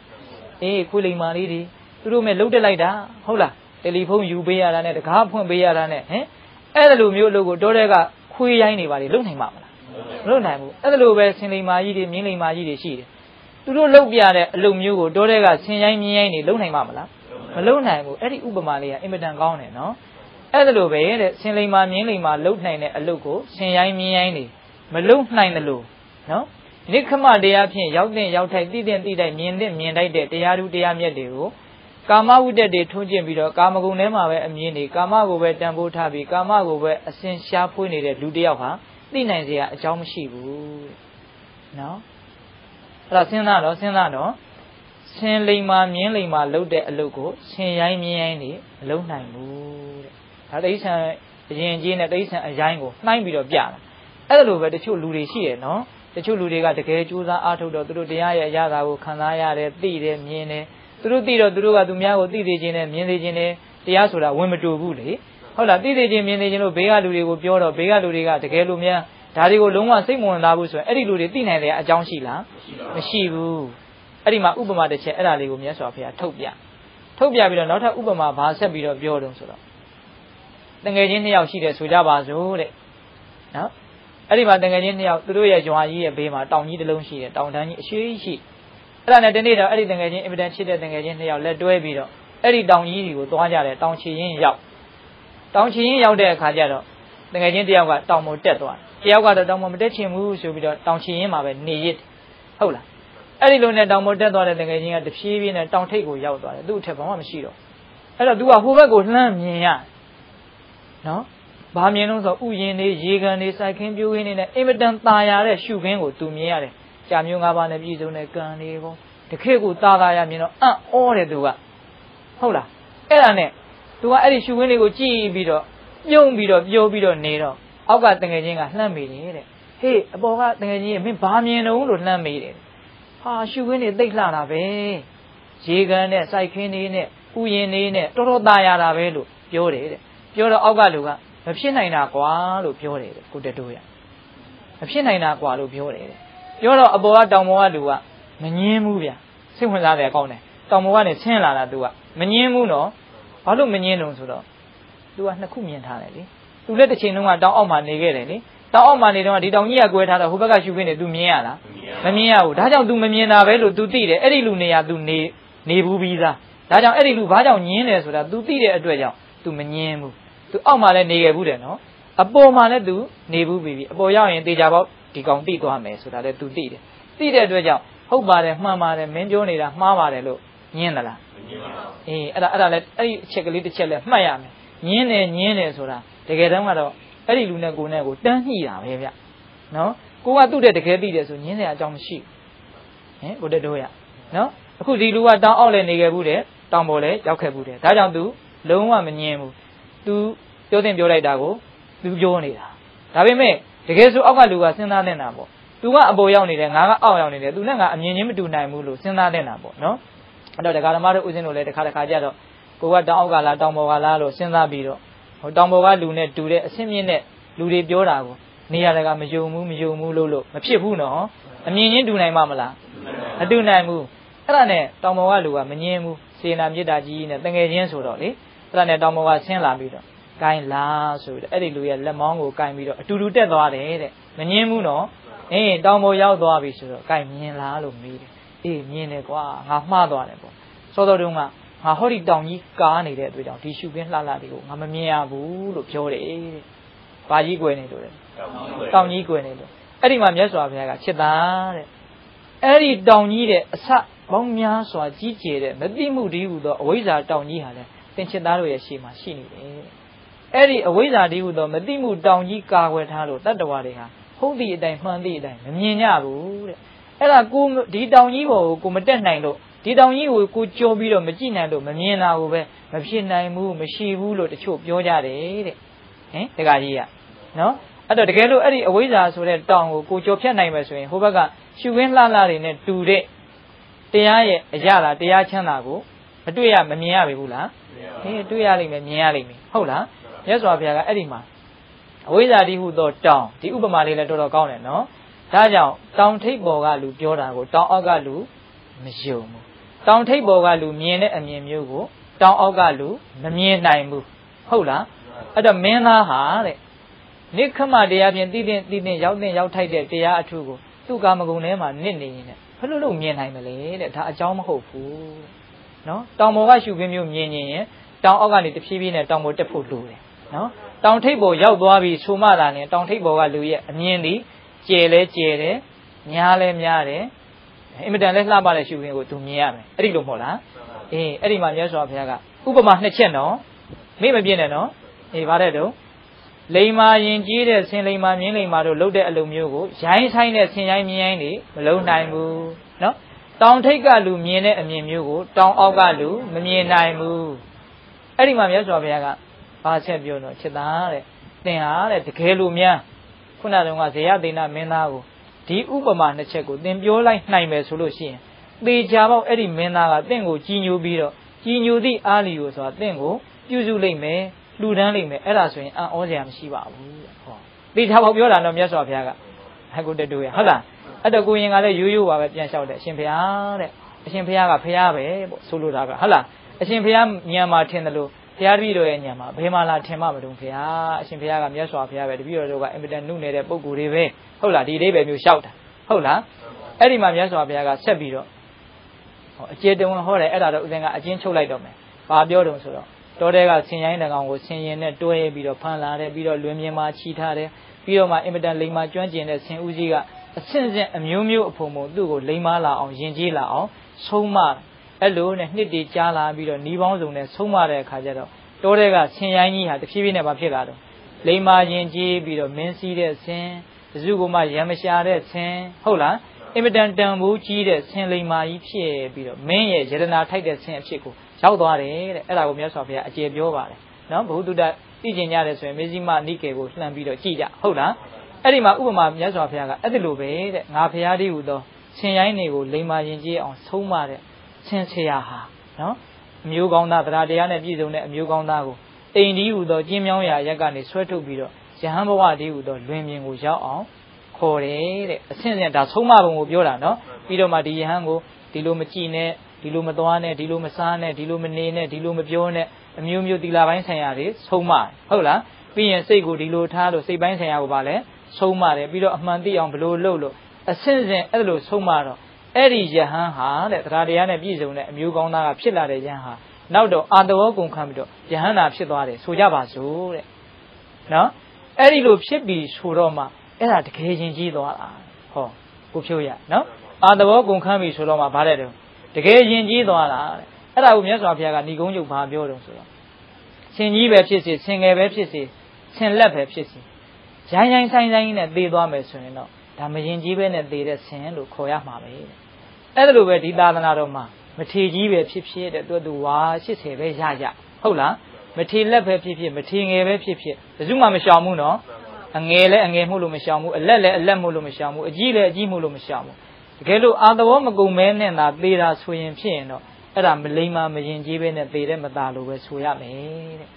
ဒါလေးပြောပြီးတော့အဲ့ဒီဒန္တဘုံမိသုတ်တာကိုနေကုန်းချုပ်သွား ဟုတ်လားအေးအဲ့တော့ဦးဇင်းတို့ပြောနေတာကဘာတုံးဆိုတော့စိတ်ကလိမ္မာရင်ကြီးအောင်ဆုံးမနိုင်တယ်ဆိုရင်မြတ်စွာဘုရားကချမ်းသာဒုက္ခကိုပေးမယ်လို့သောတော်တုံးကမာတိကမာတာကိုအကြောင်းပြုပြီးတော့မဟုတ်ဘူးလားဟောတယ်အဲ့တော့စိတ်ကိုလိမ္မာရင်ကြီးအောင်ဆုံးမရင်နောက်ဆုံးဇံလဲရနိုင်တယ်အဘိညာဉ်လဲရနိုင်တယ်မဲ့ညာဖူညာရပြီးတော့တကယ်ချမ်းသာတဲ့ချမ်းသာမှနိဗ္ဗာန်ကိုလည်းမျက်မှောက်ပြုနိုင်တယ်ဟုတ်လားဒါကိုမိမိတို့ကမယုံပါဘူးလို့စိတ်ထဲကယုံကြည်မှုအားနေတယ်ဆိုလို့ရှိရင် တောင်အောက်ကလူကတောင်ပေါ်ကလူကိုညင်းတယ်လို့မျိုးမဖြစ်ပေဘူးလားအေးရိုင်းဆိုင်တဲ့ဆင်တွေမြင်းတွေဟာလိမ္မာရင်ကြီးတဲ့ဆင်တွေမြင်းတွေလို့မလုံနိုင်ဘူးဆိုတဲ့ဥပမာကိုစိတ်ထဲမှာထင်ပြီးတော့ဒါမသိတဲ့မသိတိုက်လေးလို့မသိသေးတာပဲလို့နားမလဲသင်ဘူးလားနားလဲသင်တယ်အဲ့တော့ဆင်လိမ္မာမြင်းလိမ္မာတို့လှုပ်တယ်လို့မျိုးလှုပ်တဲ့ချင်းတယ်ဆိုရင်ကိုကိုတိုင်ယဉ်ကျေးတဲ့ဆင်တို့မြင်းတို့လိုမျိုးဖြစ်အောင်လုပ်ဖို့မလိုဘူးလားတောင်ထိပ်ကလူရဲ့အမြင်မျိုးကိုမြင်နေတယ်ဆိုရင်ကိုကိုတိုင်တောင်ထိပ်ရောက်ဖို့မလိုဘူးလားအေးအဲ့ဒီလိုတောင်ထိပ်ရောက်ပြီး အမြင့်ဆိုတာနော်ဒါမြတ်စွာဘုရားဟောထားရှိပါတယ်ဗျာဓမ္မပဒမှာပပတထောဘဘူမတ်ထေဒီတော့ပါလေအဝခတိနော်တောင်ထိပ်မှာတည်တဲ့လူဟာမြေပြင်မှာနေတဲ့လူကိုကြည့်တယ်တဲ့အဲ့ဒီလိုပဲပညာကြီးတဲ့လူဟာပညာနေတဲ့လူကိုအပေါ်ကနေကြည့်တယ်လို့မျိုးလှမ်းကြည့်တယ်တဲ့မြင်နေရတယ်နော်စီးပွားရေးရလဲအဲ့လိုရှိရနော်တခါကြီးတို့ဟုတ်လားနော်အမျိုးမျိုးလူမှုရေးပညာရေးအမြင့်ကလူဟာမြင်သမြဲပဲဟုတ်တယ်မဟုတ်လားသူကအမြင့်ကိုဗျနော်အေးဒါကြောင့်အဲ့ဒီဥပမာနှစ်ချက်ကိုဦးဇင်းတို့ကပြောချင်တာနော် ဒါကြောင့်မြတ်စွာဘုရားကဟောထားတယ်စိတ်ကိုဆုံးမရင်ချမ်းသာဒုက္ခကိုပေးလိုက်မယ်ဆိုတဲ့ဒီခါထာလေးကအနှစ်သာရမရှိဘူးလားရှိတယ်အဲ့ဒီဂါထာလေးကိုနားပြီးတော့ခုနတုန်းကယဟန်တော်လေးပြန်ဆက်ကြအောင်ဆိုမာတိကမာတာကိုနော်အားတွေဖြစ်ပြီးတော့ဂိုင်းအဲ့ဒါလို့ဆိုရင်ဒီတခုတည်းသောစိတ်ဆိုတဲ့တရားကိုပဲငါရအောင်ထိမ့်မယ်မြတ်စွာဘုရားကငါ့ကိုအဲ့ဒီနေရာကိုပဲထပ်ပြီးတော့လွတ်တာအကြောင်းမမဟုတ်ဘူးဆိုတော့တခါစိတ်ကိုထိမ့်မယ်ဆိုတော့အာတင်းပြီးတော့ပြန်သွားပြန်တယ် စောစောတုန်းကကြောက်လန့်ပြီးတော့လက်မြောက်ပြီးတော့ပြန်ပြေးခဲ့တာနော်ဟုတ်လားအခုပါတော့ပြန်သွားပြန်ပြီအေးပြန်သွားတော့ဓမ္မတိကမာတာဓမ္မကြီးလည်းသိတယ်ငါသားတော်ယဟန်လေးပြန်ရောက်လာပြီလို့သိတယ်ပြီးတော့အဲ့ဒီယဟန်တော်ကဘယ်မှမကြံရဲဘူးတစုံတယောက်ကလှမ်းကြည့်နေတယ်လေဟမ်ခင်ဗျားတို့ကြွတော့အဲ့လိုများကြီးကျက်နေတဲ့လူများရှိရင်ခက်ဘူးလားဟင်တခါကြီးဥတက်တို့ဟင်အေးအဲ့ဒါအဲ့ဒီကိုရင်အဲ့ဒီယဟန်တော်တွေကအဲ့ဒါကိုနိုင်အောင်စိတ်ကိုအရင်မဲ့မရအောင်သူတကယ်ကိုပဲအပင်ပန်းခံပြီးတော့ကြိုးစားတယ် ကြိုးစားရင်းနဲ့အထူးကတော့သူ့ရဲ့အာဟာရတပ်ပါရပေါ့လေသူဖုံးပေးနေတာလေးတွေကိုဒကမာကြီးကအထူးသဖြင့်လုပ်ပေးတော့အဲ့ဒါကိုအမိပြုပြီးတော့အဲ့ဒီယဟန်တော်လေးဟာလေ၃၄ရက်အတွင်းမှာပဲအာသောကုန်ခံလို့ယဟန်နာဖြစ်တယ်ဟောနော်သူစိတ်ကိုသူထိန်းတာနော်စိတ်တန်တန်တန်ဒုက္ခဝဟာအဲ့ဒီကြမှာဖြစ်သွားတာဟုတ်လားရင်ကြီးလိမ်မာတဲ့စိတ်ဟာချမ်းသာကိုမပေးဘူးလားပေးသွားပြီနော်အေးအဲ့ဒီလိုဖြစ်တော့ဦးဇင်းလေးကအဲ့ဒီယဟန်တော်လေးကငါတော့အာသောကုန်ခံယဟန်နာဖြစ်ပြီးဇံပင်ញင်လေးရပြီဆိုတော့ သူကစိတ်ဝင်စားတယ်ဒီဒကမာကြီးကိုစိတ်ဝင်စားတာနဲ့ဒီဒကမာကြီးနဲ့သူ့ဇက်ကြောင်းလေးကိုသူစိတ်ဝင်စားတယ်စိတ်ဝင်စားတော့သူဘာလို့ဆိုတော့နောက်ဘဝတစ်ခုပြန်ပြီးတော့စဉ်းစားတယ်ဒီဒကမာကြီးဘာတွေလုပ်တယ်လဲလို့စဉ်းစားတယ်ဘာမှသိမထူးဆန်းဘူးတဘဝပြီးတဘဝနောက်ပြန်နောက်ပြန်ပြီးတော့ပုပ်ပင်ဒီဝါလာလို့တိအဖေချင်းနဲ့ကြည်တာနော်ကိုတက်တို့ရအံ့ဩစရာကောင်းတယ်69ဘဝမြောက်မှာတဲ့အဲ့ဒီမာတိကမာတာဆိုတဲ့ဒကမာကြီးကသူ့မိန်းမဖြစ်တယ်နော်သူ့မိန်းမဖြစ်ပြီးတော့တခြားယောက်ျားတစ်ယောက်ကိုမမောတာနဲ့ အဲ့ဒီယောက်ျားနဲ့ပေါင်းပြီးတော့အဲ့ဒီဒီယဟန်တော်လေးသူ့ယောက်ျားပေါ့နော်အဲ့ဒါကြီးအသက်ကိုသေအောင်တတ်တယ်အဲ့ဒါကိုကိုလိုလေးကမြင်းနေတာမြင်းနေတာ69ဘဝတုန်းကဟောဒီဒကမာကြီးကငါ့ကိုဒီပြင်ယောက်ျားကိုကြိုက်တာနဲ့ငါ့ကိုအပေတက်ခဲ့တာမြင်အံ့ဩဖွယ်ရရှိပါပြီစွာသူကအဲ့လိုစဉ်းစားနေတိုက်တိုက်ဆိုင်နိုင်မဲ့ဒကမာကြီးကလည်းအင်ကနေလှမ်းပြီးတော့ရဟန်းတော်ဘာစိတ်ကူးနေတော့အာတော်ကုံသွားပြီဆိုတော့ तू သိတယ်ပြီးတော့ဘာဆက်ပြီးတော့စိတ်ကူးနေတော့ဆိုတော့အေး69ဘဝမြောက်ငါသူ့ကိုတတ်တာကို तू မြင်နေတယ်အဲ့ဒါနဲ့ယဟန်ဒကမာကြီးကလည်းအားကြမခံဆက်ပြီးတော့ဆက်ရှာတယ်တရားမြောက်ဘဝကို तू ဆက်ပြီးတော့ကြည်တယ်တဲ့ဒကမာကြီးကကြည်တော့တိုက်တိုက်ဆိုင်ဆိုင်မဲတဲ့အဲ့ဒီတရားမြောက်ဘဝမှာသူတို့နှစ်ယောက်လင်မယားပဲဖြစ်တယ်တဲ့ဖြစ်ပြီးတော့အဲ့ဒီဒကမာကြီးကဒီယဟန်တော်လေးဖြစ်လာမဲ့ယောက်ျားရဲ့အသက်ကိုလေသူ့ရဲ့အသက်ကိုအသေးခံစွန့်ပြီးတော့သူကယ်ခဲ့ရတယ်တဲ့ဒါလေးနော်ညင်တာညင်တဲ့အခါကျတော့ဒကမာကြီးကအိမ်ကနေလှမ်းပြီးတော့ရှင်ဖေဟာ 69ဘဝလေးတင်ရက်ပြီးတော့မနေပါနဲ့တရားမြောက်ဘဝကိုဆက်ကြည့်ပါအောင်ဖေဟာလို့ပြောတယ်တဲ့ကိုတတိုးရအဲ့တော့ယဟန်တော်ကသောတာဟောဒေဝသောတာအဘိညာဉ်နဲ့ကြားတယ်အိမ်ကနေလှမ်းပြောလာဘူးနော်ကြားတော့အဲ့ဒါနဲ့တရားမြောက်ဘဝကိုသူဆက်ပြီးတော့ဆင်ကျင်တော့သူ့ရဲ့အသက်ကိုဒကမာကြီးကအသက်နဲ့ရင်းပြီးတော့ကယ်ခဲ့တာအသက်အသေးခံပြီးတော့ကယ်ခဲ့တာညင်းတယ်ညင်းတော့မှအော်အံ့ဩရရှိပါပြီဆိုတော့ဘဝတန်တရားကြီးမှာရန်သူလိုလည်းအမြဲတမ်းမရှိဘူးနော်ချစ်တဲ့သူလိုလည်းအမြဲတမ်းမရှိဘူး ဒီချစ်တဲ့လူကိုပဲအသေးသက်လို့သက်အသေးသက်လောက်အောင်မုန်းတဲ့လူကိုပဲတစ်ချင်းကြတော့ပြန်ပြီးတော့မိတ်ဆွေတွေဖြစ်လို့ဖြစ်ဒါလည်းပဲတန်ဝေကရတရားတစ်မျိုးလို့ထင်တယ်ကိုတတို့ရနော်အဲ့တော့ဒါကိုကဒီဘဝတစ်ခုလေးတည်းအမြင်ချင်းချင်းလေးကြည့်မယ်ဆိုလို့ရှိရင်စိတ်ဟာကြက်တဲ့သဘောရှိတယ်လို့ဦးဇင်းထင်တယ်ဟုတ်လားဘဝတန်တရားတစ်လျှောက်လုံးမှာမြတ်စွာဘုရားဟောထားကြားဖို့ပါတယ်နော်ဒီလူတွေဖေမတော်ဘူးတာအမေမတော်ဘူးတာဟုတ်လားသားသမီးမတော်ဘူးတာမရှိဘူးလို့ပြောတယ်မဟုတ်လားအဲ့ဒါကိုနဲ့နဲ့နဲ့နဲ့တကယ်စိတ်ထဲကယုံကြည်လက်ခံတယ်ဆိုရင် တအားကြီးမုန်းစရာလူလို့ရှိလားရှိပါဘူးအင်းအဲ့ဒီအကျိုးလေးကိုရသေးချင်တာနော်အခုဒီမှာကြည်သန်းနော်လာတွေ့နေတာနော်နှစ်ယောက်လုံးဒါဒကမာကြီးကအနာဂတ်ဖြစ်ပြီးယဟန်တော်ကယဟန်နာဖြစ်ပြီးတော့နောက်ဘဝဆက်ဆရာမရှိတော့ဘူးဟုတ်လားအေးတန်လျာမှာအဲ့ဒါလို့မှောက်တိမှောက်မှတက်လို့တက်ဖြတ်လို့ဖြတ်ကြောက်စရာမကောင်းဘူးလားအေးအဲ့ဒါလိုမျိုးဖြစ်တာအဲ့ဒါနဲ့အဲ့ဒီယဟန်တော်လေးကအဲ့ဒီเจ้าကမခွာပါဘူးအဲ့ဒီเจ้าမှာပဲသူပြိဋိဘံစံတယ်သူ့ရဲ့တက်တန်းစေအောင်တော့နေသွားတယ်ပေါ့နော်အေးမာတိကမာတာကလည်းပဲ အဲအဲ့ဒီရွာမှာပဲတက်တန်းစေအောင်နေသွားတာပါပဲအဲ့တော့ဦးဇင်းတို့ပြောနေတာကတဏှာကြီးလဲထိုးတော့မယ်နော်ကိုတက်တို့ရဟုတ်လားအေးဒီမာတိကမာတာကိုအကြောင်းပြုပြီးတော့ဟောရရင်ရဲ့ရည်ရွယ်ချက်ကဒီကာထာလေးကိုကြိုက်တာကလည်းတကြောင်ဟုတ်လားအေးပြီးတော့အင်ယာတီထောင်ဒူပေါင်းမှာနေပြီးတော့တရားလူတရားမြတ်တွေကိုရအောင်လုပ်မယ်ဆိုရင်ရနိုင်တယ်ဆိုတာကိုလည်းသိသိချင်တာကတကြောင်ဟုတ်လားအဲ့လိုကြီးသူလိုအနာဂတ်တွေဖြစ်ပြီးတော့အရိယာတွေမဖြစ်အောင်တောင်မှ ကိုလည်းပဲကြိုးစားရင်ကြိုးစားသလောက်အားထုတ်ရင်အားထုတ်သလောက်အကျိုးအမြတ်ရနိုင်တယ်ဆိုတာကတော့မသေးကြဘူးလားသိကြတယ်ဟုတ်လားဒါကြောင့်ရောက်ရအရက်ကစပြီးတော့သွားကြရတာနော်ကိုနားလေးကစသွားခြင်းလို့မဖြစ်ဘူးအခုကိုပါလဲဒါစင်တာအခုကိုဒါတွေလဲစွန်လဲစွန်နိုင်နေတာမဟုတ်ဘူးကိုတက်တို့ရဟုတ်လားအဲ့တော့ဒီကြားထဲမှာဒီလိုနေရင်းကပဲအကျိုးအမြတ်ရအောင်ဖြစ်နိုင်တယ်မြတ်ကြိုးစားရမယ်ဆိုတဲ့သင်ခန်းစာပေါ့နော်ဘယ်တော့မှဘယ်လိုလုပ်လိုက်မယ်လို့နာကစိတ်ကူးရင်နေဆိုတာက တကယ်ဖြစ်ချင်မှလည်းဖြစ်မယ်တေချာကတော့တေချာတာကတော့ပြစ္ဆုတ်ပံလုံးရက်တွေမလုံးဖြစ်အောင်အနှောင့်အယှက်ပြုနေတာကတော့သေချာတယ်ဟုတ်လားဒါကြောင့်ပြစ္ဆုတ်ပံမှာကိုဖြစ်နေတဲ့အခြေအနေလေးမှာအကောင်းဆုံးဖြစ်တာဖြစ်အောင်လုပ်တာဟာမကောင်းဘူးလားကောင်းတယ်အေးအဲ့ဒါလေးကိုလည်းစဉ်းစားသိချင်တာကတပိုင်းဟုတ်လားပြီးတော့စိတ်ကိုလိမ်မာရင်ကြီးအောင်ဆုံးမရင်လောကီချမ်းသာလောကုတ္တရာချမ်းသာဆိုတာတွေကိုရနိုင်တယ်ဆိုတာကိုပြောချင်တာကတပိုင်းဟုတ်လားဒါနဲ့တစ်ဆက်တည်းစိတ်ကိုပြစ်ထားမယ်ရိုင်းရိုင်းဆိုင်ဆိုင် ဘလိုပဲလောဘဒေါသနဲ့နေရင်လိုနေတွေ့တဲ့အာယုံနဲ့တွေ့တယ်လို့ပဲနေပြီးတော့ဘာမှထိန်းချုပ်မှုမရှိဘဲနဲ့နေမယ်ဆိုရင်တော့ချမ်းသာဒုက္ခအမျိုးမျိုးနဲ့လွဲပြီးတော့ဆင်းရဲဒုက္ခတွေပဲအမျိုးမျိုးရောက်လာလိမ့်မယ်ဆိုတာကိုသိသိချင်တာလဲတပိုင်းပေါ့နော်အေးအဲ့ဒီလိုဦးဇင်းတို့စိတ်ကူးတွေနဲ့ဒီတရားလေးကိုဟောပါတယ်ဟုတ်လားကိုတက်တို့ရနော်ဒါကြောင့်အလုံးသောပေးသက်ပေါင်းသူတော်ကောင်းတို့သည်မိမိရဲ့စိတ်ကိုလိမ္မာအောင်ယဉ်ကျေးအောင်အပြစ်ကင်းအောင်ဆုံးမနိုင်တဲ့ပုဂ္ဂိုလ်တွေဖြစ်ပါစေဟုတ်လား လိမ္မာယဉ်ကျေးသောစိတ်ကိုပိုင်ဆိုင်ပြီးတော့အဲ့ဒီလိမ္မာယဉ်ကျေးသောစိတ်ရဲ့အစွမ်းတတ္တိကြောင့်ချမ်းသာဒုက္ခအမျိုးမျိုးကိုရရှိခံစားပိုင်ဆိုင်နိုင်ကြတဲ့ပုဂ္ဂိုလ်တို့တွေဖြစ်ကြပါစေလို့ဦးဇင်းတို့ဆန္ဒပြုရင်းနဲ့ဆူတောင်းကြရအောင်မျှဝေကြရအောင်နော်အဲအားလုံးရေသက်ခွက်ကညာကဲအားလုံးပဲလိုက်ပြီးတော့ညီလူညာတို့ဆိုမယ်နော် အရှင်ဖေယဖရာတပည့်တော်တို့သည်ဖရာမှုရှိသောသံဃာတော်အရှင်မြတ်အားဆွမ်းအစာရှိသောသင်္ကန်းအစာရှိသောလူဘဝဝိထုစုစုတို့ကိုဆက်ကလူတန်းကြပါကုန်၏အရှင်ဖေယတရဏဂုံသုံးပါးနဲ့တကွငါးပါးသောသီလတော်မြတ်ကိုဆောက်တည်ကြပါကုန်၏မြတ်စွာဘုရားဟောတော်မူအပ်သောတရားဒေသနာတော်တို့ကိုနာ ယူကြည်ညိုကြပါကုန်၏အရှင်ဘုရားဤကောင်းမှုဤကုသိုလ်တို့ဤစွမ်းတတ္တိကြောင့်မဲ့ညံဖူညံဉာဏ်နိဗ္ဗာန်ကိုလင်းမြန်ထုတ်ချောက်မျက်မှောက်ပြုရပါလို၏ရှင်ဘုရားဤကောင်းမှု ဤကုသိုလ်တို့ဤဖို့ပါကကိုကွယ်လွန်ပြီးဖြစ်သောဘိုးဘွားမိဘဖေမျိုးသားချင်းတို့အား စထား၍သုံးလက်တဘုံရှင်လီကုံသောသတ္တဝါအနန္တတို့အားထတ်တူထက်မြကုသိုလ်ဤဖို့ပါကကိုပေးဝေငှပါ၏မြာရကြ၍ကိုရှိတ်နှဖျားကျမ်းမာချမ်းသာကြသည်ဖြစ်ကြပါစေသောအမြာ ရသမျှ